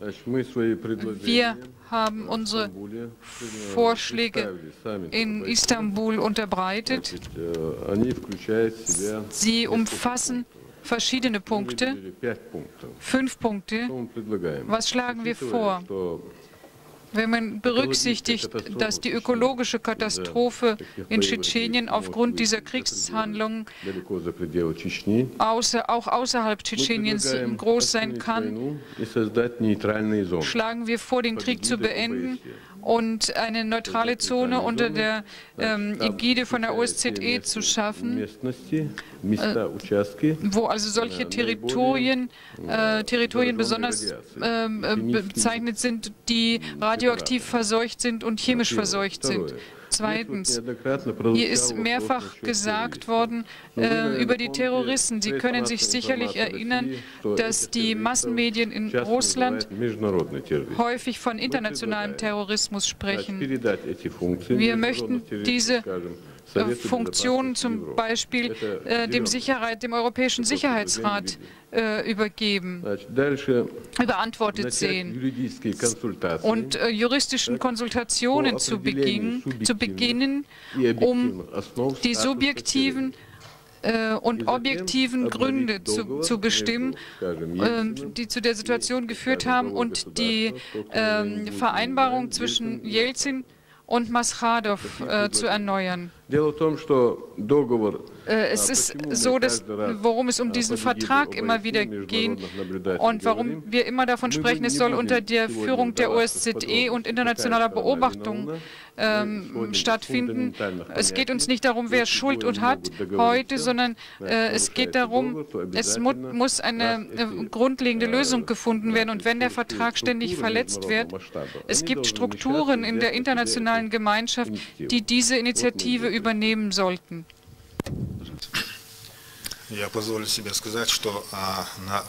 Ich erlaube mir zu sagen, dass auf dem OSZE-Forum in Istanbul wir vorher unsere Vorschläge eingerichtet ha eingereicht haben.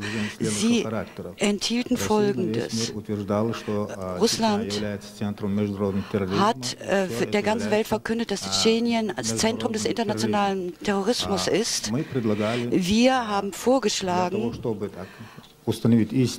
um die Wahrheit her herzustellen, einen internationalen Expertengruppen einzurichten, die diese terroristischen Akte untersucht. Und äh, diese Frage ein für alle Mal beantwortet. Mit dieser Frage soll sich nicht nur Russland beschäftigen, wenn es sich um internationalen Terrorismus handelt. Es müssen da neutrale Beobachter arbeiten. Das ist das Erste. Zweitens möchten wir, dass die internationale Gesellschaft ein äh, internationales Gericht einrichtet, genauso wie es ein Gericht für Bosnien eingerichtet hat, ein internationales Kriegsgericht und untersucht, welche Maßnahmen zum Ende dieses Krieges führen können. Wir, es gibt elementare Mechanismen, die man gebrauchen kann, um zu bewerten, was in Tschetschenien vor sich geht. Das ist zum Beispiel die Schaffung einer Kommission, die die Genfer Konvention, die Einhaltung der Genfer Konvention kontrolliert, zum Beispiel auch den Einsatz von Waffen gegen die Zivilbevölkerung. Das vierte, vierte, das hätte man an den Anfang stellen können, Einladung zu finanziellen Hilfe aller Länder,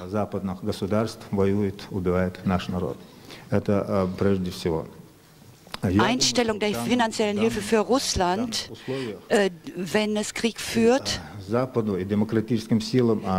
der Westen und die demokratischen Kräfte wäre es sinnvoll, unserer Meinung nach, zu unterstützen, die Macht von Masradov, denn heute steht nicht die Frage Sieg oder wir zweifeln nicht an dem Recht unserer Sache, und im Endeffekt werden wir unsere Freiheit und Unabhängigkeit verteidigen. Wir wenden uns an die Öffentlichkeit Deutschlands. Heute gibt es eine andere Parallele. Wer wird nach dem Ende des Krieges an der Macht sein? Die demokratische Kraft Masradovs oder extremistische Kräfte? So sieht die heutige Frage aus. Спасибо. Спасибо. Sonja Margolina, was ist zu tun? Ich glaube, äh, die, die, der Vorschlag mit der Blockade, der in diesem Appell von Glücksmann äh, nochmal äh, erklungen hat, wird auch nicht funktionieren. Zum einen, weil wenn die, die Finanzblockade Russland in den Bankrott treibt, ja, müssen dafür die westlichen Steuerzahler aufkommen, bekanntlich. Und die, also sozusagen die Schulden äh, Russland äh, an Deutschland sind mehr als Sparpaket plus äh, äh, Ausgaben, die äh, in Kosovo in der Perspektive der Aufgewinn für Auf, Auf, Aufbauhilfe weil äh, Deutschland eine demokratische Stadt ist. Ich glaube, die Regierung wird äh, diese, äh, diese Blockade nicht überleben. Ähm, es muss natürlich möglich sein, äh, immer wieder auf die politische Lösung zu drängen und äh, zu den äh, Verhandlungen, also mit, also wie es hier gesagt wurde, mit Maschadov wahrscheinlich doch äh, die beiden Seiten bringen. Das Problem ist nur, dass die Zeit läuft. Vielleicht kommt es auch zu Verhandlungen, bloß äh, was bis dahin passiert, ist eine große Frage. Ja, also sonst sehe ich also diese Blockaden. Zur Blockade ist auch im Fall von Milosevic nie gekommen, weil Franzosen das nicht wollten. Also deswegen, ich weiß nicht, was der Glücksmann gesagt hat. Aber äh, es ist, äh, also ich glaube, wichtig ist auch auf dem realistischen Boden zu bleiben. Es ist äh, sehr bedauerlich, aber die Mittel sind sehr äh, spärlich, die äh, sozusagen äh, auf Russland unter Druck zu setzen und die Vorschläge der tschetschenischen Seite mit internationalem Tribunal. Theoretisch ist es wahrscheinlich richtig, aber also die Reaktion wird das entgegengesetzt. Die Repressalien gegen Tschetschenien werden zunehmen. Wenn das durchgekommen wäre, was ich allerdings nicht glaube, aber äh, also die Russen, sie trotzen dieser, also diesem Zwang, wie er auch jetzt zu sehen ist. Und es wird noch schlimmer, wenn, wenn diese extremen Maßnahmen dann äh, äh, seitens der internationalen Gemeinschaft kommen. Man kann nur wenig tun. Man kann wenig tun. Das ist äh, zu wenig, glaube ich. Sergej Adamowitsch, ähm, Sie haben vorhin gesagt, man muss Druck ausüben. Jetzt glaube ich, brauchen wir was ganz Konkretes. Wie soll man Druck ausüben und besteht nicht doch die Gefahr, äh, die äh, Sonja Margolina gerade andeutet, dass sich dann möglicherweise innerhalb Russlands, äh, Hans-Christoph Buch hat das vorhin auch mal sozusagen ins Spiel gebracht, allerdings dann gesagt, es wird, ähm, das darf keine Rolle spielen, es wird ja vielleicht noch schlimmer. Nochmal die Frage an Sie, welchen Druck genau, wie soll ausgeübt werden auf Russland, was schlagen Sie vor? Ja? Да. Wissen Sie, ich schlage nichts vor. Und ich möchte das erklären, warum. Ehrlich gesagt, obwohl ich Mitglied der Staatsduma bin, äh, bin ich kein Politiker, aber ich weiß genau, dass die Politiker und die Diplomaten sehr genau wissen, äh, auf welche Art und Weise Druck ausgeübt werden kann. Ich bin sehr einverstanden damit, dass der Konflikt, das heißt nicht der Konflikt, sondern die russische äh, Vernichtung äh, in Nordkaukasus. Äh, man muss die Dinge beim Namen nennen, das ist kein Konflikt.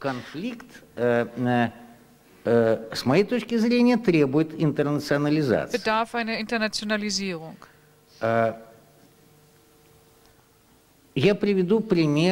Ich möchte ein Beispiel anführen aus der Vergangenheit. Jetzt sind diese Methoden unzureichend, über die ich sprechen werde.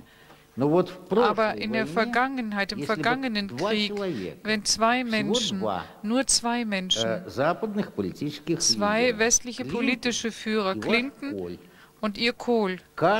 Jede Woche öffentlich aufgetreten werden und wären und gesagt hätten, das ist ein schmutziger Krieg, der beendet, beendet werden muss, dann äh, wäre dieser Krieg Э, nicht zwei Jahre gedauert, sondern höchstens zwei Monate. Und dieses hätte damals ausgereicht. Jetzt reicht das nicht mehr. Э, ich denke, dass der э, Druck auf Russland allmählich wachsen muss. Aber er muss begründet sein auf der festen Überzeugung, dass auch dieser äh, schmutzige Krieg äh, beendet werden muss, der zur Vernichtung führt. Ich weiß nicht, welche Schritte auf diesen äh, Druck folgen. Wir wissen zum Beispiel, dass die Diplomaten mitunter ihre äh, Botschafter zurückziehen zur äh, Konsultation. Auch das ist eine wichtige Demarche. Es gibt viel heftigere ähm, Schritte, wenn die Botschafter überhaupt zurückbeordert werden. Das ist eine noch stärkere Demarche. Ich denke, dass wenn Ihre Gesellschaft es von Ihren Politikern verlangen würde, Druck auszuüben, dann seien Sie beruhigt. Sie hätten sehr gut Methoden, Sie würden sehr gute Methoden finden. Was das Tribunal angeht, ich habe mit großer, äh, be würde mit be größerer Begeisterung Putin auf die Anklagebank setzen und nicht nur Putin, sondern äh, eine ganze Reihe von Generälen. Aber neben Basayev und Khattab. Haben Sie herzlichen Dank. So, jetzt ähm, gibt es die Mikrofone. Haben wir die Mikrofone? Ja, hat er, ja. ja Bitte ich habe ein Mikrofon und bin auch der Mann, der es nachher weitergibt an Sie. Ich möchte direkt an die Worte von Sergei Kavalev etwas anschließen, was vielleicht uns auch die Möglichkeit gibt, als deutsche Öffentlichkeit etwas zu tun. Wir müssen Druck ausüben, weil dieser Krieg auch als Propagandakrieg geführt wird und die russischen Medien weitgehend gleichgeschaltet sind. Sie müssen sich vorstellen, von den kritischen Reden auf der OECD, äh, auf dem OECD-Gipfel in Istanbul wurde in Russland nur berichtet, dass Clinton, dass Schröder, dass alle einverstanden sind mit dem Kampf der Russischen Föderation gegen den Terrorismus in Tschetschenien. Die kritischen Stimmen dieser Reden wurden ausgeblendet. Ich denke, wir können etwas tun, Druck auszuüben auf unsere eigene Regierung und auch auf Putin, indem jeder, der hier im Saal sitzt, draußen im Forum von dem Tisch eine kleine Postkarte nimmt. Die ist schon bedruckt und schon beschrieben. Man muss nur eine Briefmarke draufkleben. Und ich denke, dass dieser öffentliche Druck, Druck der öffentlichen Meinung, mehr bewirkt, als man überhaupt nur ahnen kann. Und er würde auch bewirken, dass vielleicht in Russland selbst die Bevölkerung bemerkt, dass in diesem Krieg gar nicht Terroristen bekämpft werden, sondern Zivilisten, sodass dann vielleicht doch Mitleid aufkommt und sich die öffentliche Meinung in Russland etwas bewegt. Danke. Vielen Dank. Ähm, weitere Stellungnahmen, Fragen? Ja, ich finde Gäste? die Diskussion, ich finde die Diskussion hier verläuft doch sehr merkwürdig. Selbst wenn es terroristische Akte in Tschetschenien gegeben hat, rechtfertigt das keinerlei Krieg. Ich meine, dass hier nicht die Forderung nach einem sofortigen Stopp des Krieges angesichts allein der Zahlenverhältnisse und dessen, was dort geschieht, erhoben wird, finde ich schon recht makaber. Das ist der eine Punkt. Äh, es wird auch immer so getan, als gäbe es hier bereits eine Öffentlichkeit, die über all das informiert worden sei. Ist es ja nicht. Es gibt ja im Grunde genommen über diesen Krieg kaum eine Öffentlichkeit. Wir erfahren ja nur Bruchstücke. Zum Beispiel auch die Frage der Hintergründe. Welches Zusammenspiel gibt es zwischen Beresowski und Basajew? Äh, wir müssten andere Fragen stellen. Wo ist denn der moralische Overkill in der Stimme von Rudolf Scharping? Mit welchem Programm sind die Grünen vor den Wahlen angetreten? Und welche Interventionen hat Hans-Christoph Buch unterstützt, der nun plötzlich hier sich zu Recht für die einsetzt, aber die Bedingungen für den Krieg gegen Tschetschenien mit unterstützt hat. Ich meine, hier ist ein einziger Mann im Saal, der diesen Zusammenhang aufgezeigt hat, das ist Görgi Konrad, ein ehemaliger ungarischer Dissident.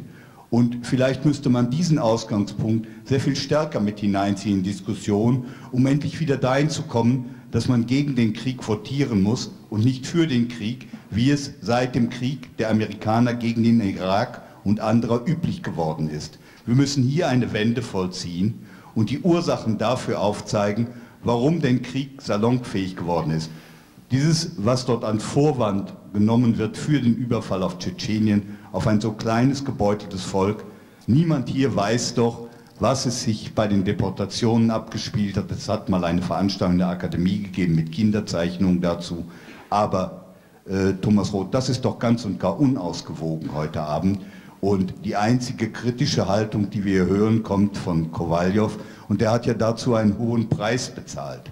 Ich meine, liebe Magolina, was äh, Sie dort sagen, ist also ein Konglomerat unverständlicher Dinge. Da ist der Glucksmann geradezu von einer erfrischenden Klarheit.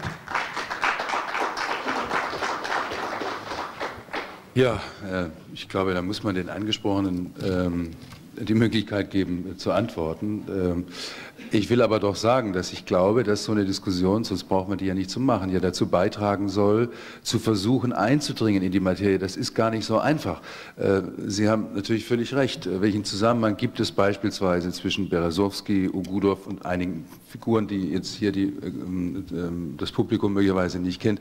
Das ist auch für Journalisten, im Übrigen russische wie internationale Deutsche, außerordentlich schwierig, dieses Spiel äh, zu durchschauen. Im Übrigen denke ich, nicht, äh, nicht ganz einfach, weil hier auch viele, viele Interessen eine Rolle spielen. Sie haben aber recht, es ist ein Defizit in der Tat äh, auch ähm, im Umgang mit der Materie selbst, geschweige denn sie dann auch zu berichten. Das ist, glaube ich, nicht das Problem, jedenfalls nicht äh, bei der ARD und den Medien, äh, die ich hier kenne und die zum Teil auch hier im Raum vertreten sind. Aber ich glaube, Hans-Christoph Buch sollte Gelegenheit gegeben was zu sagen und dann äh, natürlich auch Frau Margolina. Ich fand sie naja, einigermaßen nur, verständlich. Äh, die, es gab ja eben von Herrn Geismar den Hinweis auf Jörgi Konrads Einführungsworte. Äh, und Konrad weiß, ich sympathisiere mit ihm, aber bin nicht mit ihm immer einverstanden. Ich glaube nicht, dass man den jetzigen neuen Krieg in Tschetschenien aus dem Kosovo-Krieg erklären kann. Es ist richtig, die russische Generalität hat gelernt, vor allem was die Präsentation des Krieges betrifft in den Medien. Und sie hat auch, das hat Konrad, glaube ich, auch gesagt, von Milosevic gelernt, wie man mit Flüchtlingen umgeht, wie man sie an der Grenze festhält. Aber die tieferen Ursachen dieses Krieges und des früheren Tschetschenienkrieges, die sind nicht mit diesen Kriegen im Balkan gleichzusetzen oder gar auf sie zurückzuführen und auch nicht auf den in den Irak. Man kann nicht alles in einen Topf werfen, das, klärt nicht, das führt nicht zur Klärung, sondern zur weiteren Verunklärung bei. Und das ist ja das Ziel der Intervention äh, des Mephisto, den ich sehr schätze, Michael Geismeier, alles noch mehr zu verwirren. Es ist schon schwierig genug. Sonja Marini. Äh, ich möchte auch über Verhältnisse zwischen Berezowski und Basayev nichts äh, sagen, weil ich habe zwar viel darüber gelesen, aber, aber das russische politische Leben ist so untransparent, dass man nur also mit Mutmaßungen und Verschwörungstheorien da halbwegs irgendwas erklären kann. Und äh, ich fühle mich einfach nicht berechtigt, über diese Dinge zu sprechen, die absolut nicht klar sind. Man könnte natürlich aber über äh, Erdöl reden äh, und als unmittelbarer Grund für Krieg, also für den letzten Krieg auch äh, äh, die äh, neu entdeckte Vorkommen in Dagestan, im Kaspischen Schelf zu nennen, also äh, die verloren gegangen wäre, wenn Dagestan zum Gottstadt wurde. Ja, aber trotzdem es erklärt nicht alles und der Krieg, das ist nicht der erste Krieg, sondern der zweite Krieg. Und deswegen äh, würde ich äh, so Herrn Buch zustimmen, dass es, äh, also über alle diese Dinge zu reden, würde noch mehr Unklarheit bringen, weil es gilt natürlich, also den Krieg zu stoppen. Und den Krieg zu stoppen oder Einfluss darauf zu nehmen, kann nur die deutsche Öffentlichkeit, also nicht wir äh, auf dem Podium. Und äh, die deutsche Öffentlichkeit ist auch, äh, ich meine auch europäische Öffentlichkeit, die auch nicht ganz aktiv ist, also ich glaube nicht mehr als deutsche Öffentlichkeit jedenfalls. Und äh, also man muss darüber reden, also wieso das nicht stattfindet, wo ist die Öffentlichkeit? Also äh, seit, seit drei, also es ist jedenfalls nicht die Zeitungen, die oder nicht die Korrespondenten, die ab und zu über dieses Problem schreiben. Also wo, wo ist das alles abgeblieben nach 89, würde ich sagen. Ja? Und wahrscheinlich äh, hängt das zusammen mit das Problem der Linken auch, die äh, also sozusagen einerseits groß, äh, großes Vorbild und andererseits großen Feind verloren haben und desorientiert sind. Vielleicht ist es einfach die Gesellschaft, die sich geändert hat und der Strukturwandel der Öffentlichkeit hat sich vollzogen. Jedenfalls ist die Gesellschaft nicht aktiv in dieser Hinsicht. War auch im Kosovo-Frage nicht aktiv. Ich meine jetzt nicht die, äh, also die, die Gruppen, die dann Friedensbewegungen und so, darum geht es nicht. Ja, aber äh, es hat sich herausgestellt, dass die Herren da oben handeln und die Öffentlichkeit, äh, also stimmt ja zu, ja. Und wenn sie nicht handeln, stimmt die Öffentlichkeit nicht zu. Und das Problem ist, wie man dann äh, Öffentlichkeit aktiviert oder vielleicht kann, darf man das gar nicht sagen, was heißt Öffentlichkeit aktivieren. Entweder gibt es Öffentlichkeit, dann ist sie aktiv oder gibt es äh, sie nicht, dann braucht, sie, also sozusagen, braucht man darüber nicht zu reden. Ja, und das ist ein großes Problem, was, also was, äh, wie, man das, äh, wie man das macht. Das ist ja schon zu sagen, also der Krieg soll gestoppt werden, das geht nicht, aber also wie, wie, wie können wir das machen? Ja, Öffentlichkeit herstellen. Ähm, der Präsident dieser Akademie hat das getan. Deshalb sitzen wir hier, deshalb sitzen Sie hier. Ähm, wenn Sie noch weitere mehr möchte, um um ihr Territorium, also nicht nur zu vergrößern, sondern eben die, die, die Schätze da auch zu haben. Und ich kann nur sehen, dass wir, wir, die westlichen Länder, derartig Angst vor Russland haben, weil ein äh, um, also ein, ein, ein nicht friedliches Umgehen mit diesem Volk oder mit dieser Regierung, äh, dass das also wirklich hier auch letztendlich auch zum Krieg führen wird. Mhm. Das hoffe ich nicht. Ähm, aber darin sehe ich eine Aufforderung hallo, hallo. zum Beispiel an die Berichterstattung. Nehmen Sie einfach das Mikrofon. Äh, kann ich mal, ich war als Erster hier oben am Mikrofon. Ja, äh, Sie äh, brauchen mich trotzdem nicht zu unterbrechen. Ja, bitteschön. Entschuldigen Sie, dass ich Sie unterbrochen habe. Ich wollte einfach nur ein Beispiel erwähnen, wie Öffentlichkeit schon hergestellt worden ist. Ich arbeite für die UNESCO-Projektschulen und davon hat es über 104 in Deutschland und 5000 in der Welt. Und die hatten ihre Jahrestagung, auf der eine Resolution eingebracht worden ist, die den Außenminister aufforderte, zu intervenieren oder zumindest klar und deutlich auszusprechen, dass man ein Hineinschlittern in einen Krieg der russischen Regierung gegen Tschetschenien so nicht tolerieren könnte und dass man die Befürchtung hatte, damals zumindest, dass dies auf einen Völkermord hinauslaufen würde. Mittlerweile ist das passiert. Diese Resolution gibt es immer noch und diese UNESCO-Projektschulen haben vor, zusammen mit der Gesellschaft für bedrohte Völker, allerdings erst am 16. Dezember ein Mahnwahl für die Opfer dieses Krieges bundesweit zu organisieren. Das ist eine Sache.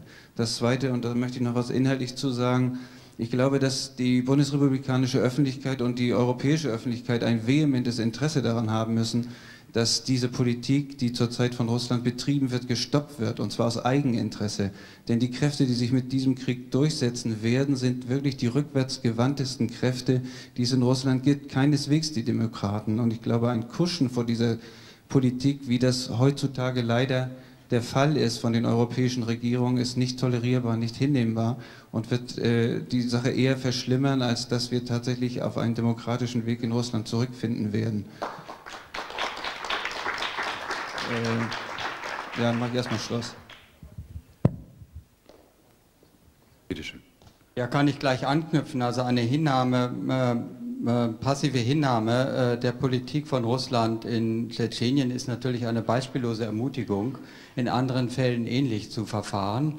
In äh, Gebieten mit sehr vielen Völkerschaften wie im Kaukasus oder auch in anderen Gebieten. Also insofern machen wir uns auch im westlichen Europa mitverantwortlich durch Passivität für eine ganz schlimme Entwicklung, die in Russland droht. Herr Kowaljow, Sie haben das ja angedeutet.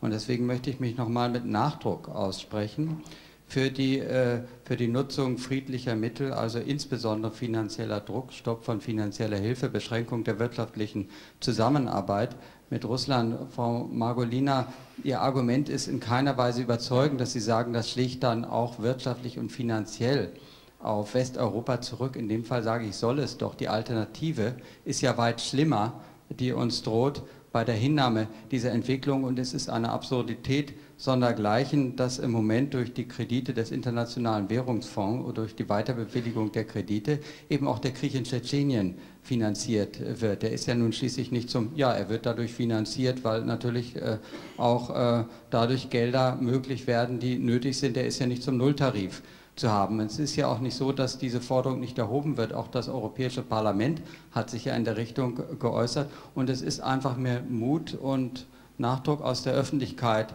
hm, erforderlich, das auch äh, zu erheben und nicht nur darüber zu klagen, dass das von der Seite der Politik zu wenig geschieht. Das ist eben auch die Verantwortung der Öffentlichkeit, wie dieser Versammlung, war ja auch der Vorschlag, Briefe und so zu schreiben, dieses noch einmal deutlich zu machen. Ich habe an Herrn Kowaljow, weil ich äh, Politiker bin in Berlin, also aus dem Abgeordnetenhaus hier, noch eine konkrete Frage. Wir haben ja von Berlin eine Städtepartnerschaft mit Moskau.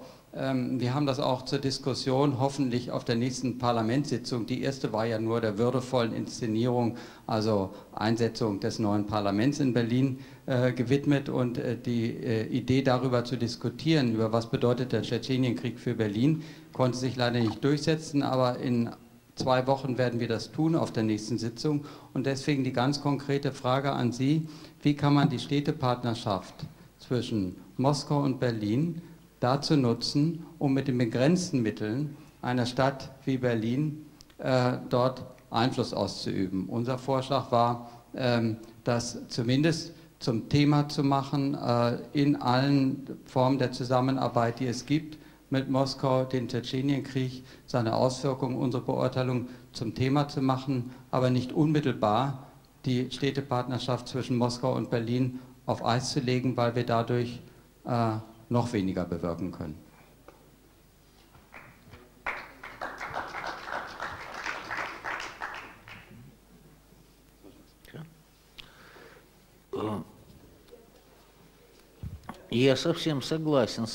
Ich bin mit Ihnen absolut einverstanden. Ich denke, dass Städte, die Verbindung haben, diese Verbindung nicht abbrechen sollten, sondern sie nutzen sollten, um ihren Gesichtspunkt der Bevölkerung zu verstehen zu geben. Ich muss sagen, dass jetzt in Russland die Zensur herrscht. Alles, was die Kriegssituation betrifft, herrscht bei uns eine sehr strenge Zensur. In anderen Sphären ist sie nicht so hart. Diese Zensur wird ganz einfach durchgeführt. Journalisten, die eine eigene Meinung haben, bekommen keine Akkreditierung. Oder man lässt die Journalisten einfach nicht in die Regionen Tschetscheniens, die unter der Kontrolle der russisch, des russischen Militärs sind oder nur in Begleitung von Militärleuten, die ihnen natürlich dann das zeigen, was sie ihnen zeigen möchten. Deshalb ist die Öffentlichkeit in Russland, die tatsächlich leider das muss ich zugeben, die diese militärischen Operationen unterstützt. Sie ist desinformiert. Sie ist desinformiert durch die Hauptkanäle der Information, die wir haben. Und zwar nicht das Fernsehen. Es gibt faktisch keinen Fernsehkanal, der einigermaßen objektiv wäre. Und es gibt sehr wenig, sehr wenig Zeitungen, die es wagen, die Wahrheit zu schreiben, sehr wenige. Und ich denke mir, wenn die Verbindungen zwischen zwei Gesellschaften dazu genutzt werden, um die Wahrheit zu sagen, das ist ein sehr wichtiger Gesichtspunkt. Natürlich ist es nicht die einzige Möglichkeit, Druck auszuüben. Wahrscheinlich ist dieser Weg nicht der effektivste. Ich kann nur wiederholen, dass andere Druckmaßnahmen als und zwar nicht die öffentliche die, die, Öffentlichkeit kann Druck ausüben auf ihre eigene Führung. Im vorigen Krieg war der Druck nicht ausreichend und das hat ihre, ihren Führern erlaubt, die Reputation unseres äh, Präsidents zu retten äh, auf Kosten von Menschenleben. Äh, ähm, wollen wir doch diesen Fehler nicht wiederholen.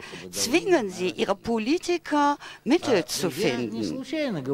Ich sage nicht zufällig, äh, spreche ich vom Druck auch auf Tschetschenien. Der Druck auf Russland könnte sehr viel effektiver sein, wenn, wenn er wirklich gutwillig wäre, wenn gleichzeitig auch Druck auf die tschetschenische Gesellschaft ausgeübt würde und auf die tschetschenische Macht. Eine solche Situation der föderalen Macht ist sehr viel komplizierter. zu ignorieren. Ich wiederhole, Ihre Diplomaten, Ihre Politiker können Druck ausüben aufeinander. Wir hier sind nicht Professionelle, wir können keine bestimmte Methode uns jetzt ausdenken, sondern was die Gesellschaft tun kann, das ist die Wahrheit sagen und von den professionellen Politikern zu fordern, Stopper Ani, damit die Maßnahmen ergreifen. Wir können natürlich nicht anstelle dieser Professionellen treten. Das war eigentlich äh, fast schon ein Schlusswort oder es war eigentlich ein Schlusswort. Ich möchte aber die Stimme im Saal natürlich trotzdem noch ähm, ähm, Gelegenheit geben, würde aber dann äh, vielleicht doch denken, dass wir allmählich zum äh, Schluss kommen. Wir diskutieren, glaube ich, ganz intensiv schon eine ganze Zeit. Ähm, vielleicht Sie beide noch und dass wir dann drei, ja, wollen wir es dann dabei, dabei belassen? Ja, dann bitteschön. Ich habe von Herrn Kolja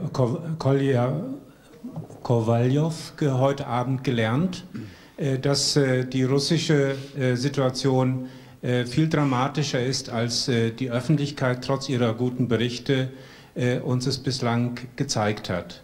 Wir haben ein Regime im Ausnahmezustand das einen Vernichtungskrieg plant und durchführt. Das ist die Analyse auf zwei Sätze gebracht äh, von dem russischen Bürgerrechtler. Und wenn das der Fall ist, dann ist das, was ich aus internen Sitzungen etwa der einer der Regierungsparteien höre, nicht zureichend. Nämlich zu sagen, wir müssen den Staatsbankrott verhindern und wir müssen Schirinowski verhindern.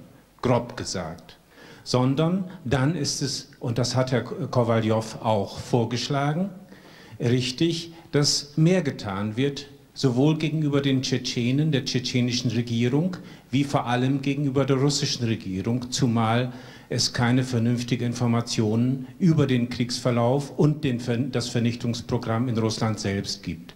Und das heißt, dass sehr viel mehr an Druck entwickelt werden sollte, sehr viel mehr an Präsenz, sehr viel mehr an Konferenzen, sehr viel mehr an Hingehen, als bislang die öffentliche und die politische Meinung und der Bundestag sagt. Morgen debattieren Sie, Sie sollten mehr Druck machen. Das wäre die Konsequenz für mich aus dem heutigen Abend.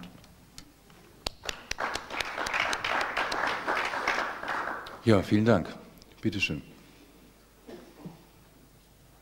Ja, zunächst einmal möchte ich dem Herrn Kowaljow in einem in einem Punkt energisch widersprechen. Und zwar hat er ähm, gesagt, dass dieses Selbstbestimmungsrecht der Völker kein demokratisches Prinzip ist und dass er die, dass die Integration quasi eher ein Fortschritt darstellen würde als die, als die, Demo als die Selbstbestimmung der, als das Selbstbestimmungsrecht der Völker. Denn genau nach, die, nach diesem Prinzip, denke ich, voll, voll, ähm, handelt hier Moskau in dem eben dieses Selbstbestimmungsrecht der Tschetschenen nicht geduldet wird. Ähm, ein zweiter Punkt, den ich anbringen möchte, ist der, ähm, ob wir uns nicht Gedanken machen müssen, ob die Politik der Bundesregierung und der westlichen Staaten noch als eine demokratische Außenpolitik begriffen werden kann. Es wurde äh, erwähnt, dass quasi der, dass der Präsident Jelzin ähm, quasi äh, als, als äh, Garant der Demokratie bezeichnet worden ist, als auch im Anschluss an den ersten ähm, Tschetschenienkrieg, wo klar war, dass schon dieser Krieg ein Verbrechen war, ein Verbrechen gegen die Menschlichkeit, wurde immer noch auf Jelzin als Garanten der Demokratie gesetzt. Ähm, eine zweite Sache wäre dann die,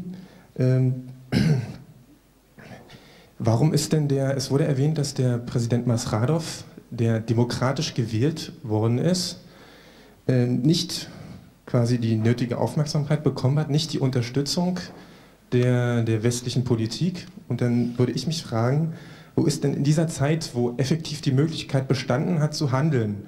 Wir fragen uns hier, was wir jetzt tun können in einem Vernichtungsfeldzug, der von Russland gegen Tschetschenien geführt wird.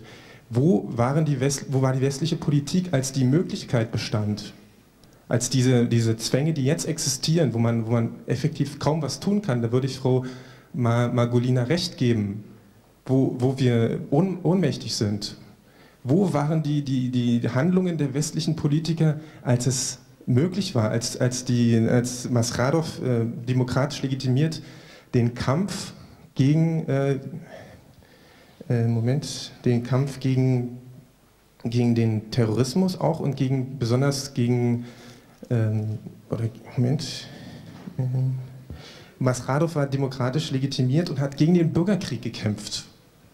Und er wäre die einzige Chance gewesen, quasi den, äh, die, die, den, den, den Frieden dort zu sichern, wäre die, äh, es wäre die einzige Möglichkeit gewesen, Masradov zu unterstützen. Es ist nicht passiert. Und meine Erkenntnis wäre die, dass Völker nur indem sie ein, äh, quasi ein, ein, in der politischen Organisation Form des Staates sich organisieren, überhaupt erst anerkannt werden, überhaupt erst wahrgenommen werden. Man kann das, das Beispiel der Kurden ähm, vollziehen und kann feststellen, dass auch die Kurden, die keinen selbstständigen Staat haben, auf der großen Bühne der internationalen Politik gar nicht erst wahrgenommen werden. Geschweige denn, dass äh, die NATO, sich, äh, die sich als Wertegemeinschaft besteht, ein Problem darin hätte, dass dort ein, ein permanenter Völkermord passiert. Gut. Haben Sie vielen Dank. Wir hatten noch eine Stimme dann, aber noch zwei. Aber ich würde Sie herzlich bitten, wenn es geht, so knapp, äh, aber natürlich trotzdem richtig, ähm, wie Sie es ausdrücken wollen, zu sprechen, damit wir zu dem Ende kommen. Die Fragen gehen, wenn ich Sie recht verstanden habe, an Sergei Kowaljow, was das Selbstbestimmungsrecht äh, angeht. Die zweite Frage geht einerseits an den Westen, wenn ich es richtig verstanden habe. Die können wir, glaube ich, von hier oben schlecht beantworten. Aber ich würde mit Ihrer Erlaubnis ähm, vielleicht Sie doch auch an Sergei Kowaljow mit der Bitte um zwei kurze Antworten weitergeben.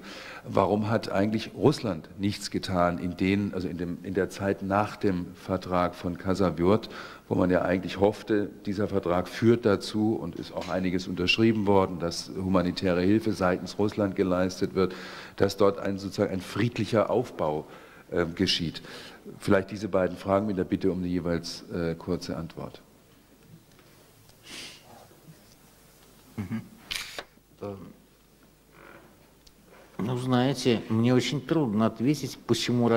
Es fällt mir sehr schwer darauf zu antworten, warum Russland nicht das getan hat, was es hätte tun müssen.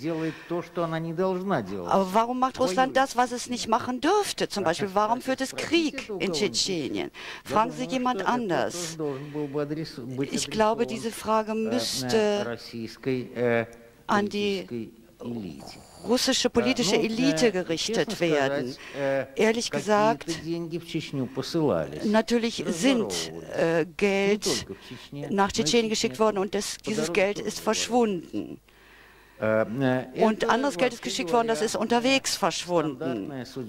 Das ist das übliche Schicksal sehr vieler Geldströme in der Russischen Föderation.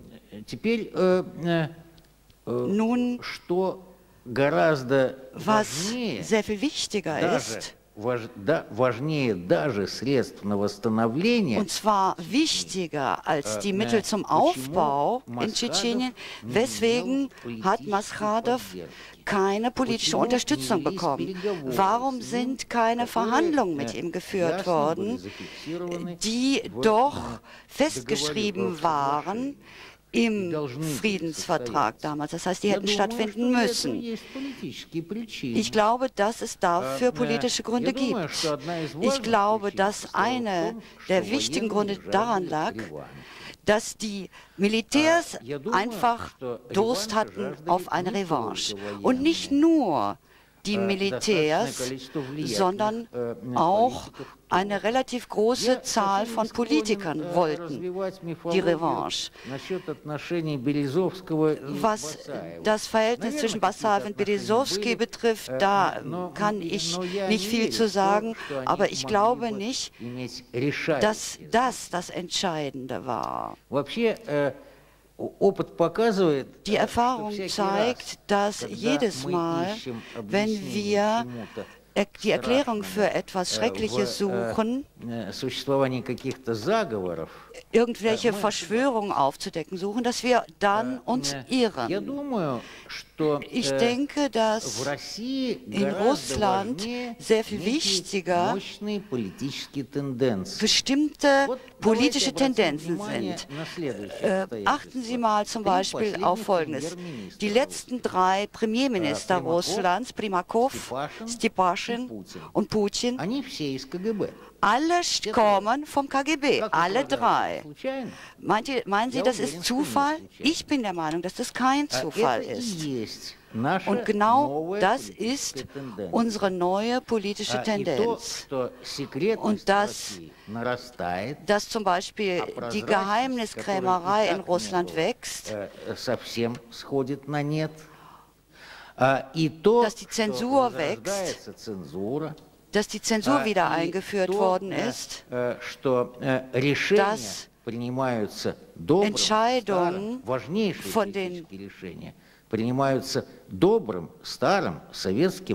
dass die Entscheidungen auf alte sowjetische Art gefällt werden und wir Wähler absolut nichts wissen von den Gründen dieser Entscheidung. Das sind alles Phänomene, die in dieselbe Richtung gehen.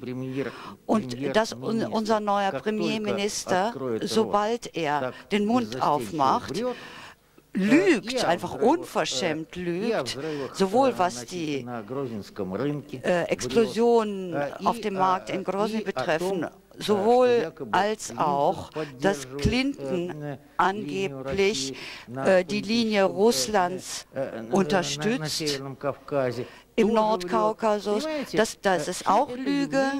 Alles das sind Phänomene, die in ein und dieselbe Richtung gehen. Und dafür muss man die Gründe suchen, warum das warum wir treubrüchig geworden sind, warum wir unsere Verpflichtungen im Nordkaukasus nicht erfüllt haben, warum wir wieder versuchen, einen militärischen Sieg zu erringen. Noch ein Beispiel für die gegenwärtige Realität in Russland. Haben Sie nicht bemerkt, dass, dass jetzt Russland einen äußeren Feind hat? Das ist der traditionelle Feind, der in der Sowjetzeit immer existierte. Das ist der Westen. Das ist unser äußerer Feind. Das sagen jetzt alle, angefangen vom Präsidenten und aufgehört mit irgendeinem Politiker. Unser Patriotismus besteht darin, dass wir uns gegen den westlichen Einfluss dem widersetzen müssen. Und wir haben auch einen inneren Feind. Und dieser innere Feind, früher hieß er Dissident, heute heißt er Rechts, Bürgerrechtler, unsere Presse, unsere russische erklärt, dass das die echten Feinde des Staates sind, dass die vom Geld des Westens leben, dass die Aufträge aus dem Westen bekommen. Ich sitze also hier und ich kriege also von Ihnen hier einen Auftrag und dann werde ich ihn in meinem Land ausführen. Verstehen Sie? Das diese Situation, wo wichtig ist für die Politiker, einen Feind zu haben, einen Feind im Äußeren und einen Feind im Inneren, die kennen wir nur zu gut. Wir leben ständig brauchen wir einen Feind für unsere eigene politische Existenz. Ohne Feinde sind wir einfach, ersticken wir wie ohne Luft. Wir können dann gegen niemand kämpfen. Verstehen Sie? Das, das ist das ist natürlich nicht sehr konkrete Erklärung, aber das ist die Wurzel warum es diese kaukasische Kriege geben muss. Wir brauchen einen Feind. Wir brauchen einen Feind wie die Luft zum Atmen. Sonst Sonst wem können wir sonst unsere Fehler in die Schuhe schieben? Wenn es einen Feind gibt, dann ist alles in Ordnung. Zwei Worte zur Analogie Kosovo und Irak. Ich glaube, dass es eine ganz oberflächliche Analogie ist. Sowohl im Kosovo als auch im Irak war, herrscht eine völlig andere Situation. Ich möchte nicht die Handlungen der NATO auf dem Balkan für makellos erklären. Das kann man nicht sagen. Und alle vier Seiten, die am Balkankonflikt beteiligt waren, also die Albanier, die Kosovo-Albaner, die Serben, der serbische Staat, mit der Spitze, mit Milosevic an der Spitze, die Kräfte des Westens, das heißt die NATO und Russland. Man sollte Russland nicht einfach auslassen, alle haben sich nicht makellos aufgeführt. Aber die Situation im Kosovo ist außerdem doch noch charakterisiert durch die Unvollkommenheit des Weltsystems. Was soll man denn machen, wenn vor ihren Augen ein Genozid beginnt? Das ist die Wurzel der westlichen Position im Kosovo. Denn mit Milosevic hat man immerhin ein Jahr lang verhandelt. Und, West, und wenn Russland Milosevic nicht unterstützt hätte und seine Widerspenstigkeit unterstützt hätte, dann hätte es auch keine Bombardierung gegeben. Dann wäre er sehr viel früher zurückgewichen als nach der ersten Bombe. Und was wollen Sie machen, wenn Saddam Hussein ein anderes Land besetzt und außerdem auch noch gegen sein eigenes Volk Giftstoffe anwendet? Was soll man da machen? Mit ihm Verhandlungen führen? Ich glaube, das haut nicht hin. Und deshalb, in diesen Fällen scheint mir die Anwendung von Gewalt un unausweichlich, leider, leider. Das ist ein Defekt der Weltordnung, der gegenwärtigen Weltordnung. Und das macht es erforderlich, dass dieses System zur Vollendung geführt wird. Aber das ist ein völlig anderes Problem als das, wovon wir jetzt sprechen. Entschuldigen Sie, warum wurde nicht gefordert, Verhandlungen zu führen, sondern stattdessen zu bombardieren Ortschaften? Das verstehe ich nicht, das verstehe ich nicht. Warum musste man die Terroristen, die es wirklich gibt, aber warum muss man die umbringen in Tschetschenien und gleichzeitig die zivile Bevölkerung umbringen? Ich kann mich sehr gut an den ersten Krieg in Tschetschenien erinnern. Ich erinnere mich sehr gut an unsere eigenen Berechnungen, was die Opfer betrifft. Nur in Grozny allein ist in den ersten zwei Monaten des Kriegs 25.000 Zivilbevölkerung gestorben. Das, so sieht die Rechnung aus. Wenn Sie alle Tschetschenen umbringen, dann wird natürlich auch Basaev dazwischen sein, darunter sein. Aber äh, kann man das machen? Kann man so gegen Terroristen kämpfen? Ich möchte einfach sagen, dass die ganz unvollkommenen Handlungen der westlichen Seite, sowohl im Irak als auch und sehr viel mehr auf dem Balkan, im Kosovo, man kann die wenigstens erklären durch die Notwendigkeit einer Einmischung, die Notwendigkeit aufzuhalten, den Mord an der Zivilbevölkerung aufzuhalten. Aber was wollen wir denn in Tschetschenien aufhalten? Das verstehe ich nicht. Die letzten beiden, wenn Sie so nett wären, Zimmer drei, glaube ich. wenn Sie, vielleicht kann man die hintereinander wegnehmen. Wir verlieren einfach die Konzentration auch. Ich weiß nicht, wie es Ihnen geht, der Saal wird auch ein bisschen leerer. Könnten Sie es ganz kurz zusammenfassen, vielleicht als Frage, weniger als Vortrag an die äh, hier Sitzenden und dann machen wir nochmal eine Antwort. Bitte schön. Haben Sie ein Mikrofon?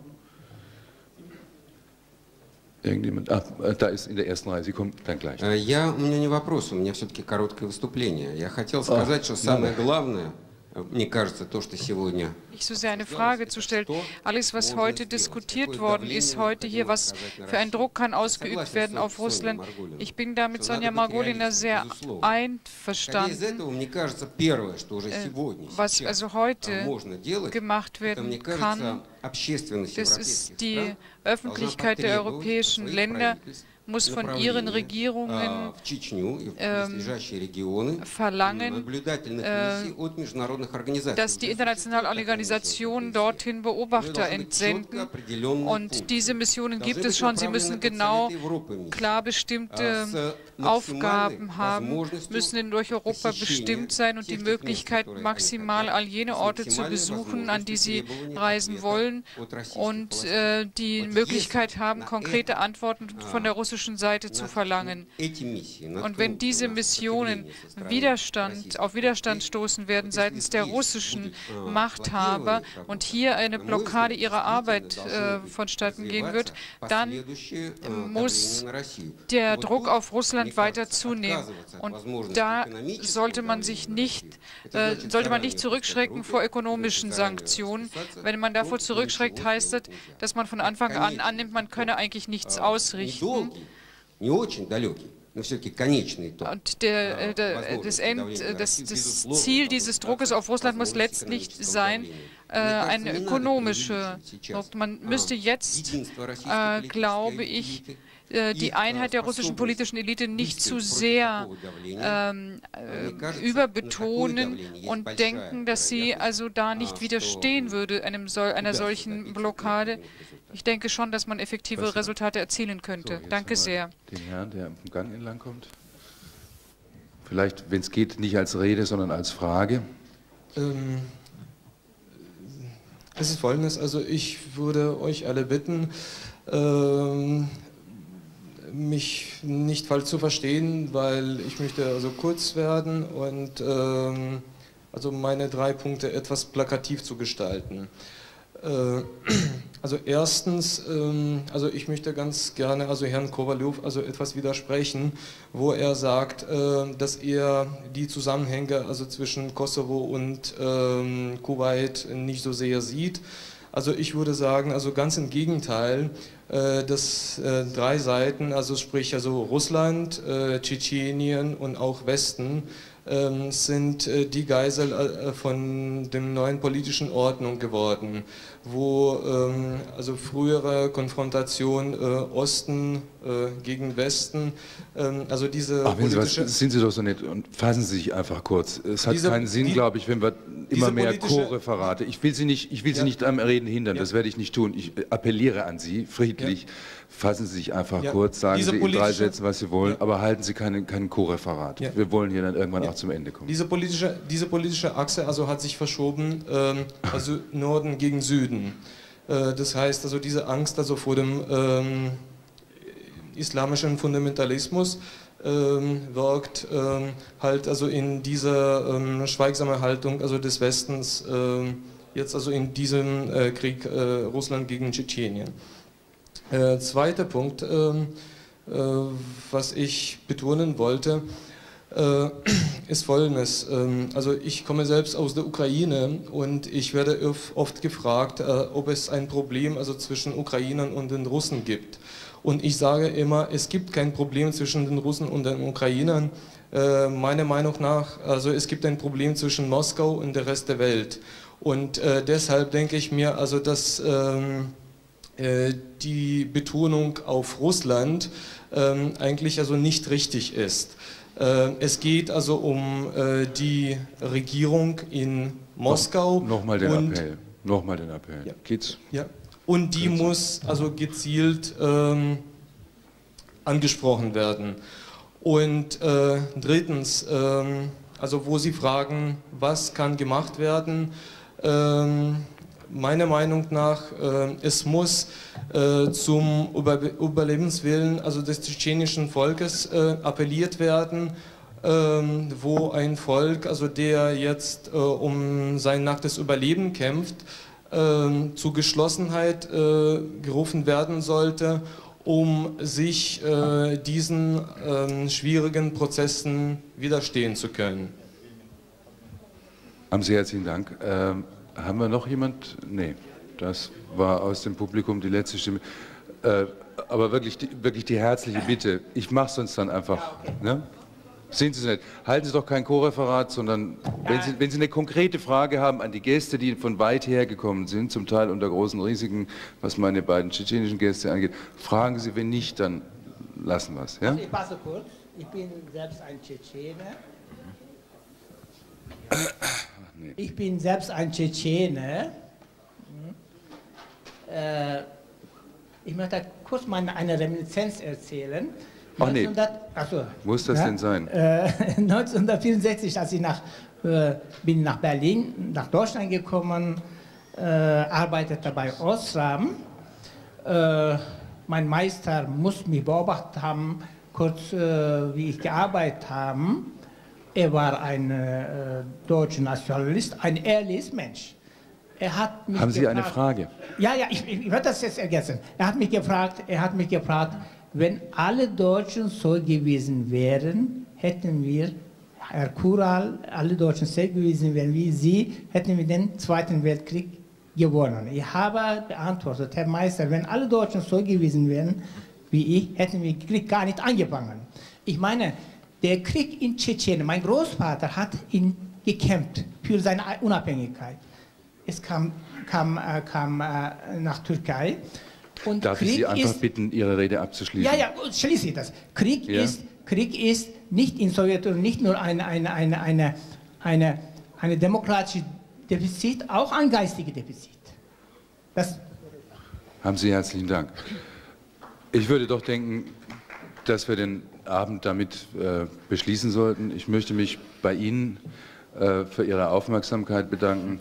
Ich möchte mich bei den Gästen hier bedanken für ihre Geduld äh, und auch den Versuch, in diesen wirklich schwierigen Zusammenhang ein bisschen Licht zu bringen.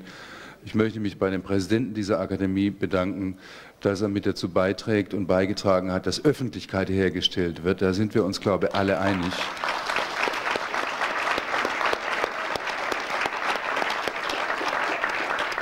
Denn das ist das, was fehlt, haben wir, glaube ich, auch im Laufe dieser Diskussion festgestellt. Dieses Unbehagen haben wir alle. Warum regt sich die Gesellschaft nicht? Mir geht es auch so, wenn ich das so persönlich sagen darf, als Journalist, wenn man dort arbeitet und versucht, so nah wie möglich an der Wahrheit zu berichten und staunend auch nach Deutschland schaut, ähm, weil da Reaktionen mehr oder weniger ausbleiben. Insofern nochmal Dank an diese Akademie, Dank an Sie alle und in einem sind wir uns sicherlich alle einig, dieser Krieg muss sofort aufhören und alles, was dazu getan werden kann, damit das passiert, muss getan werden. Schönen Dank.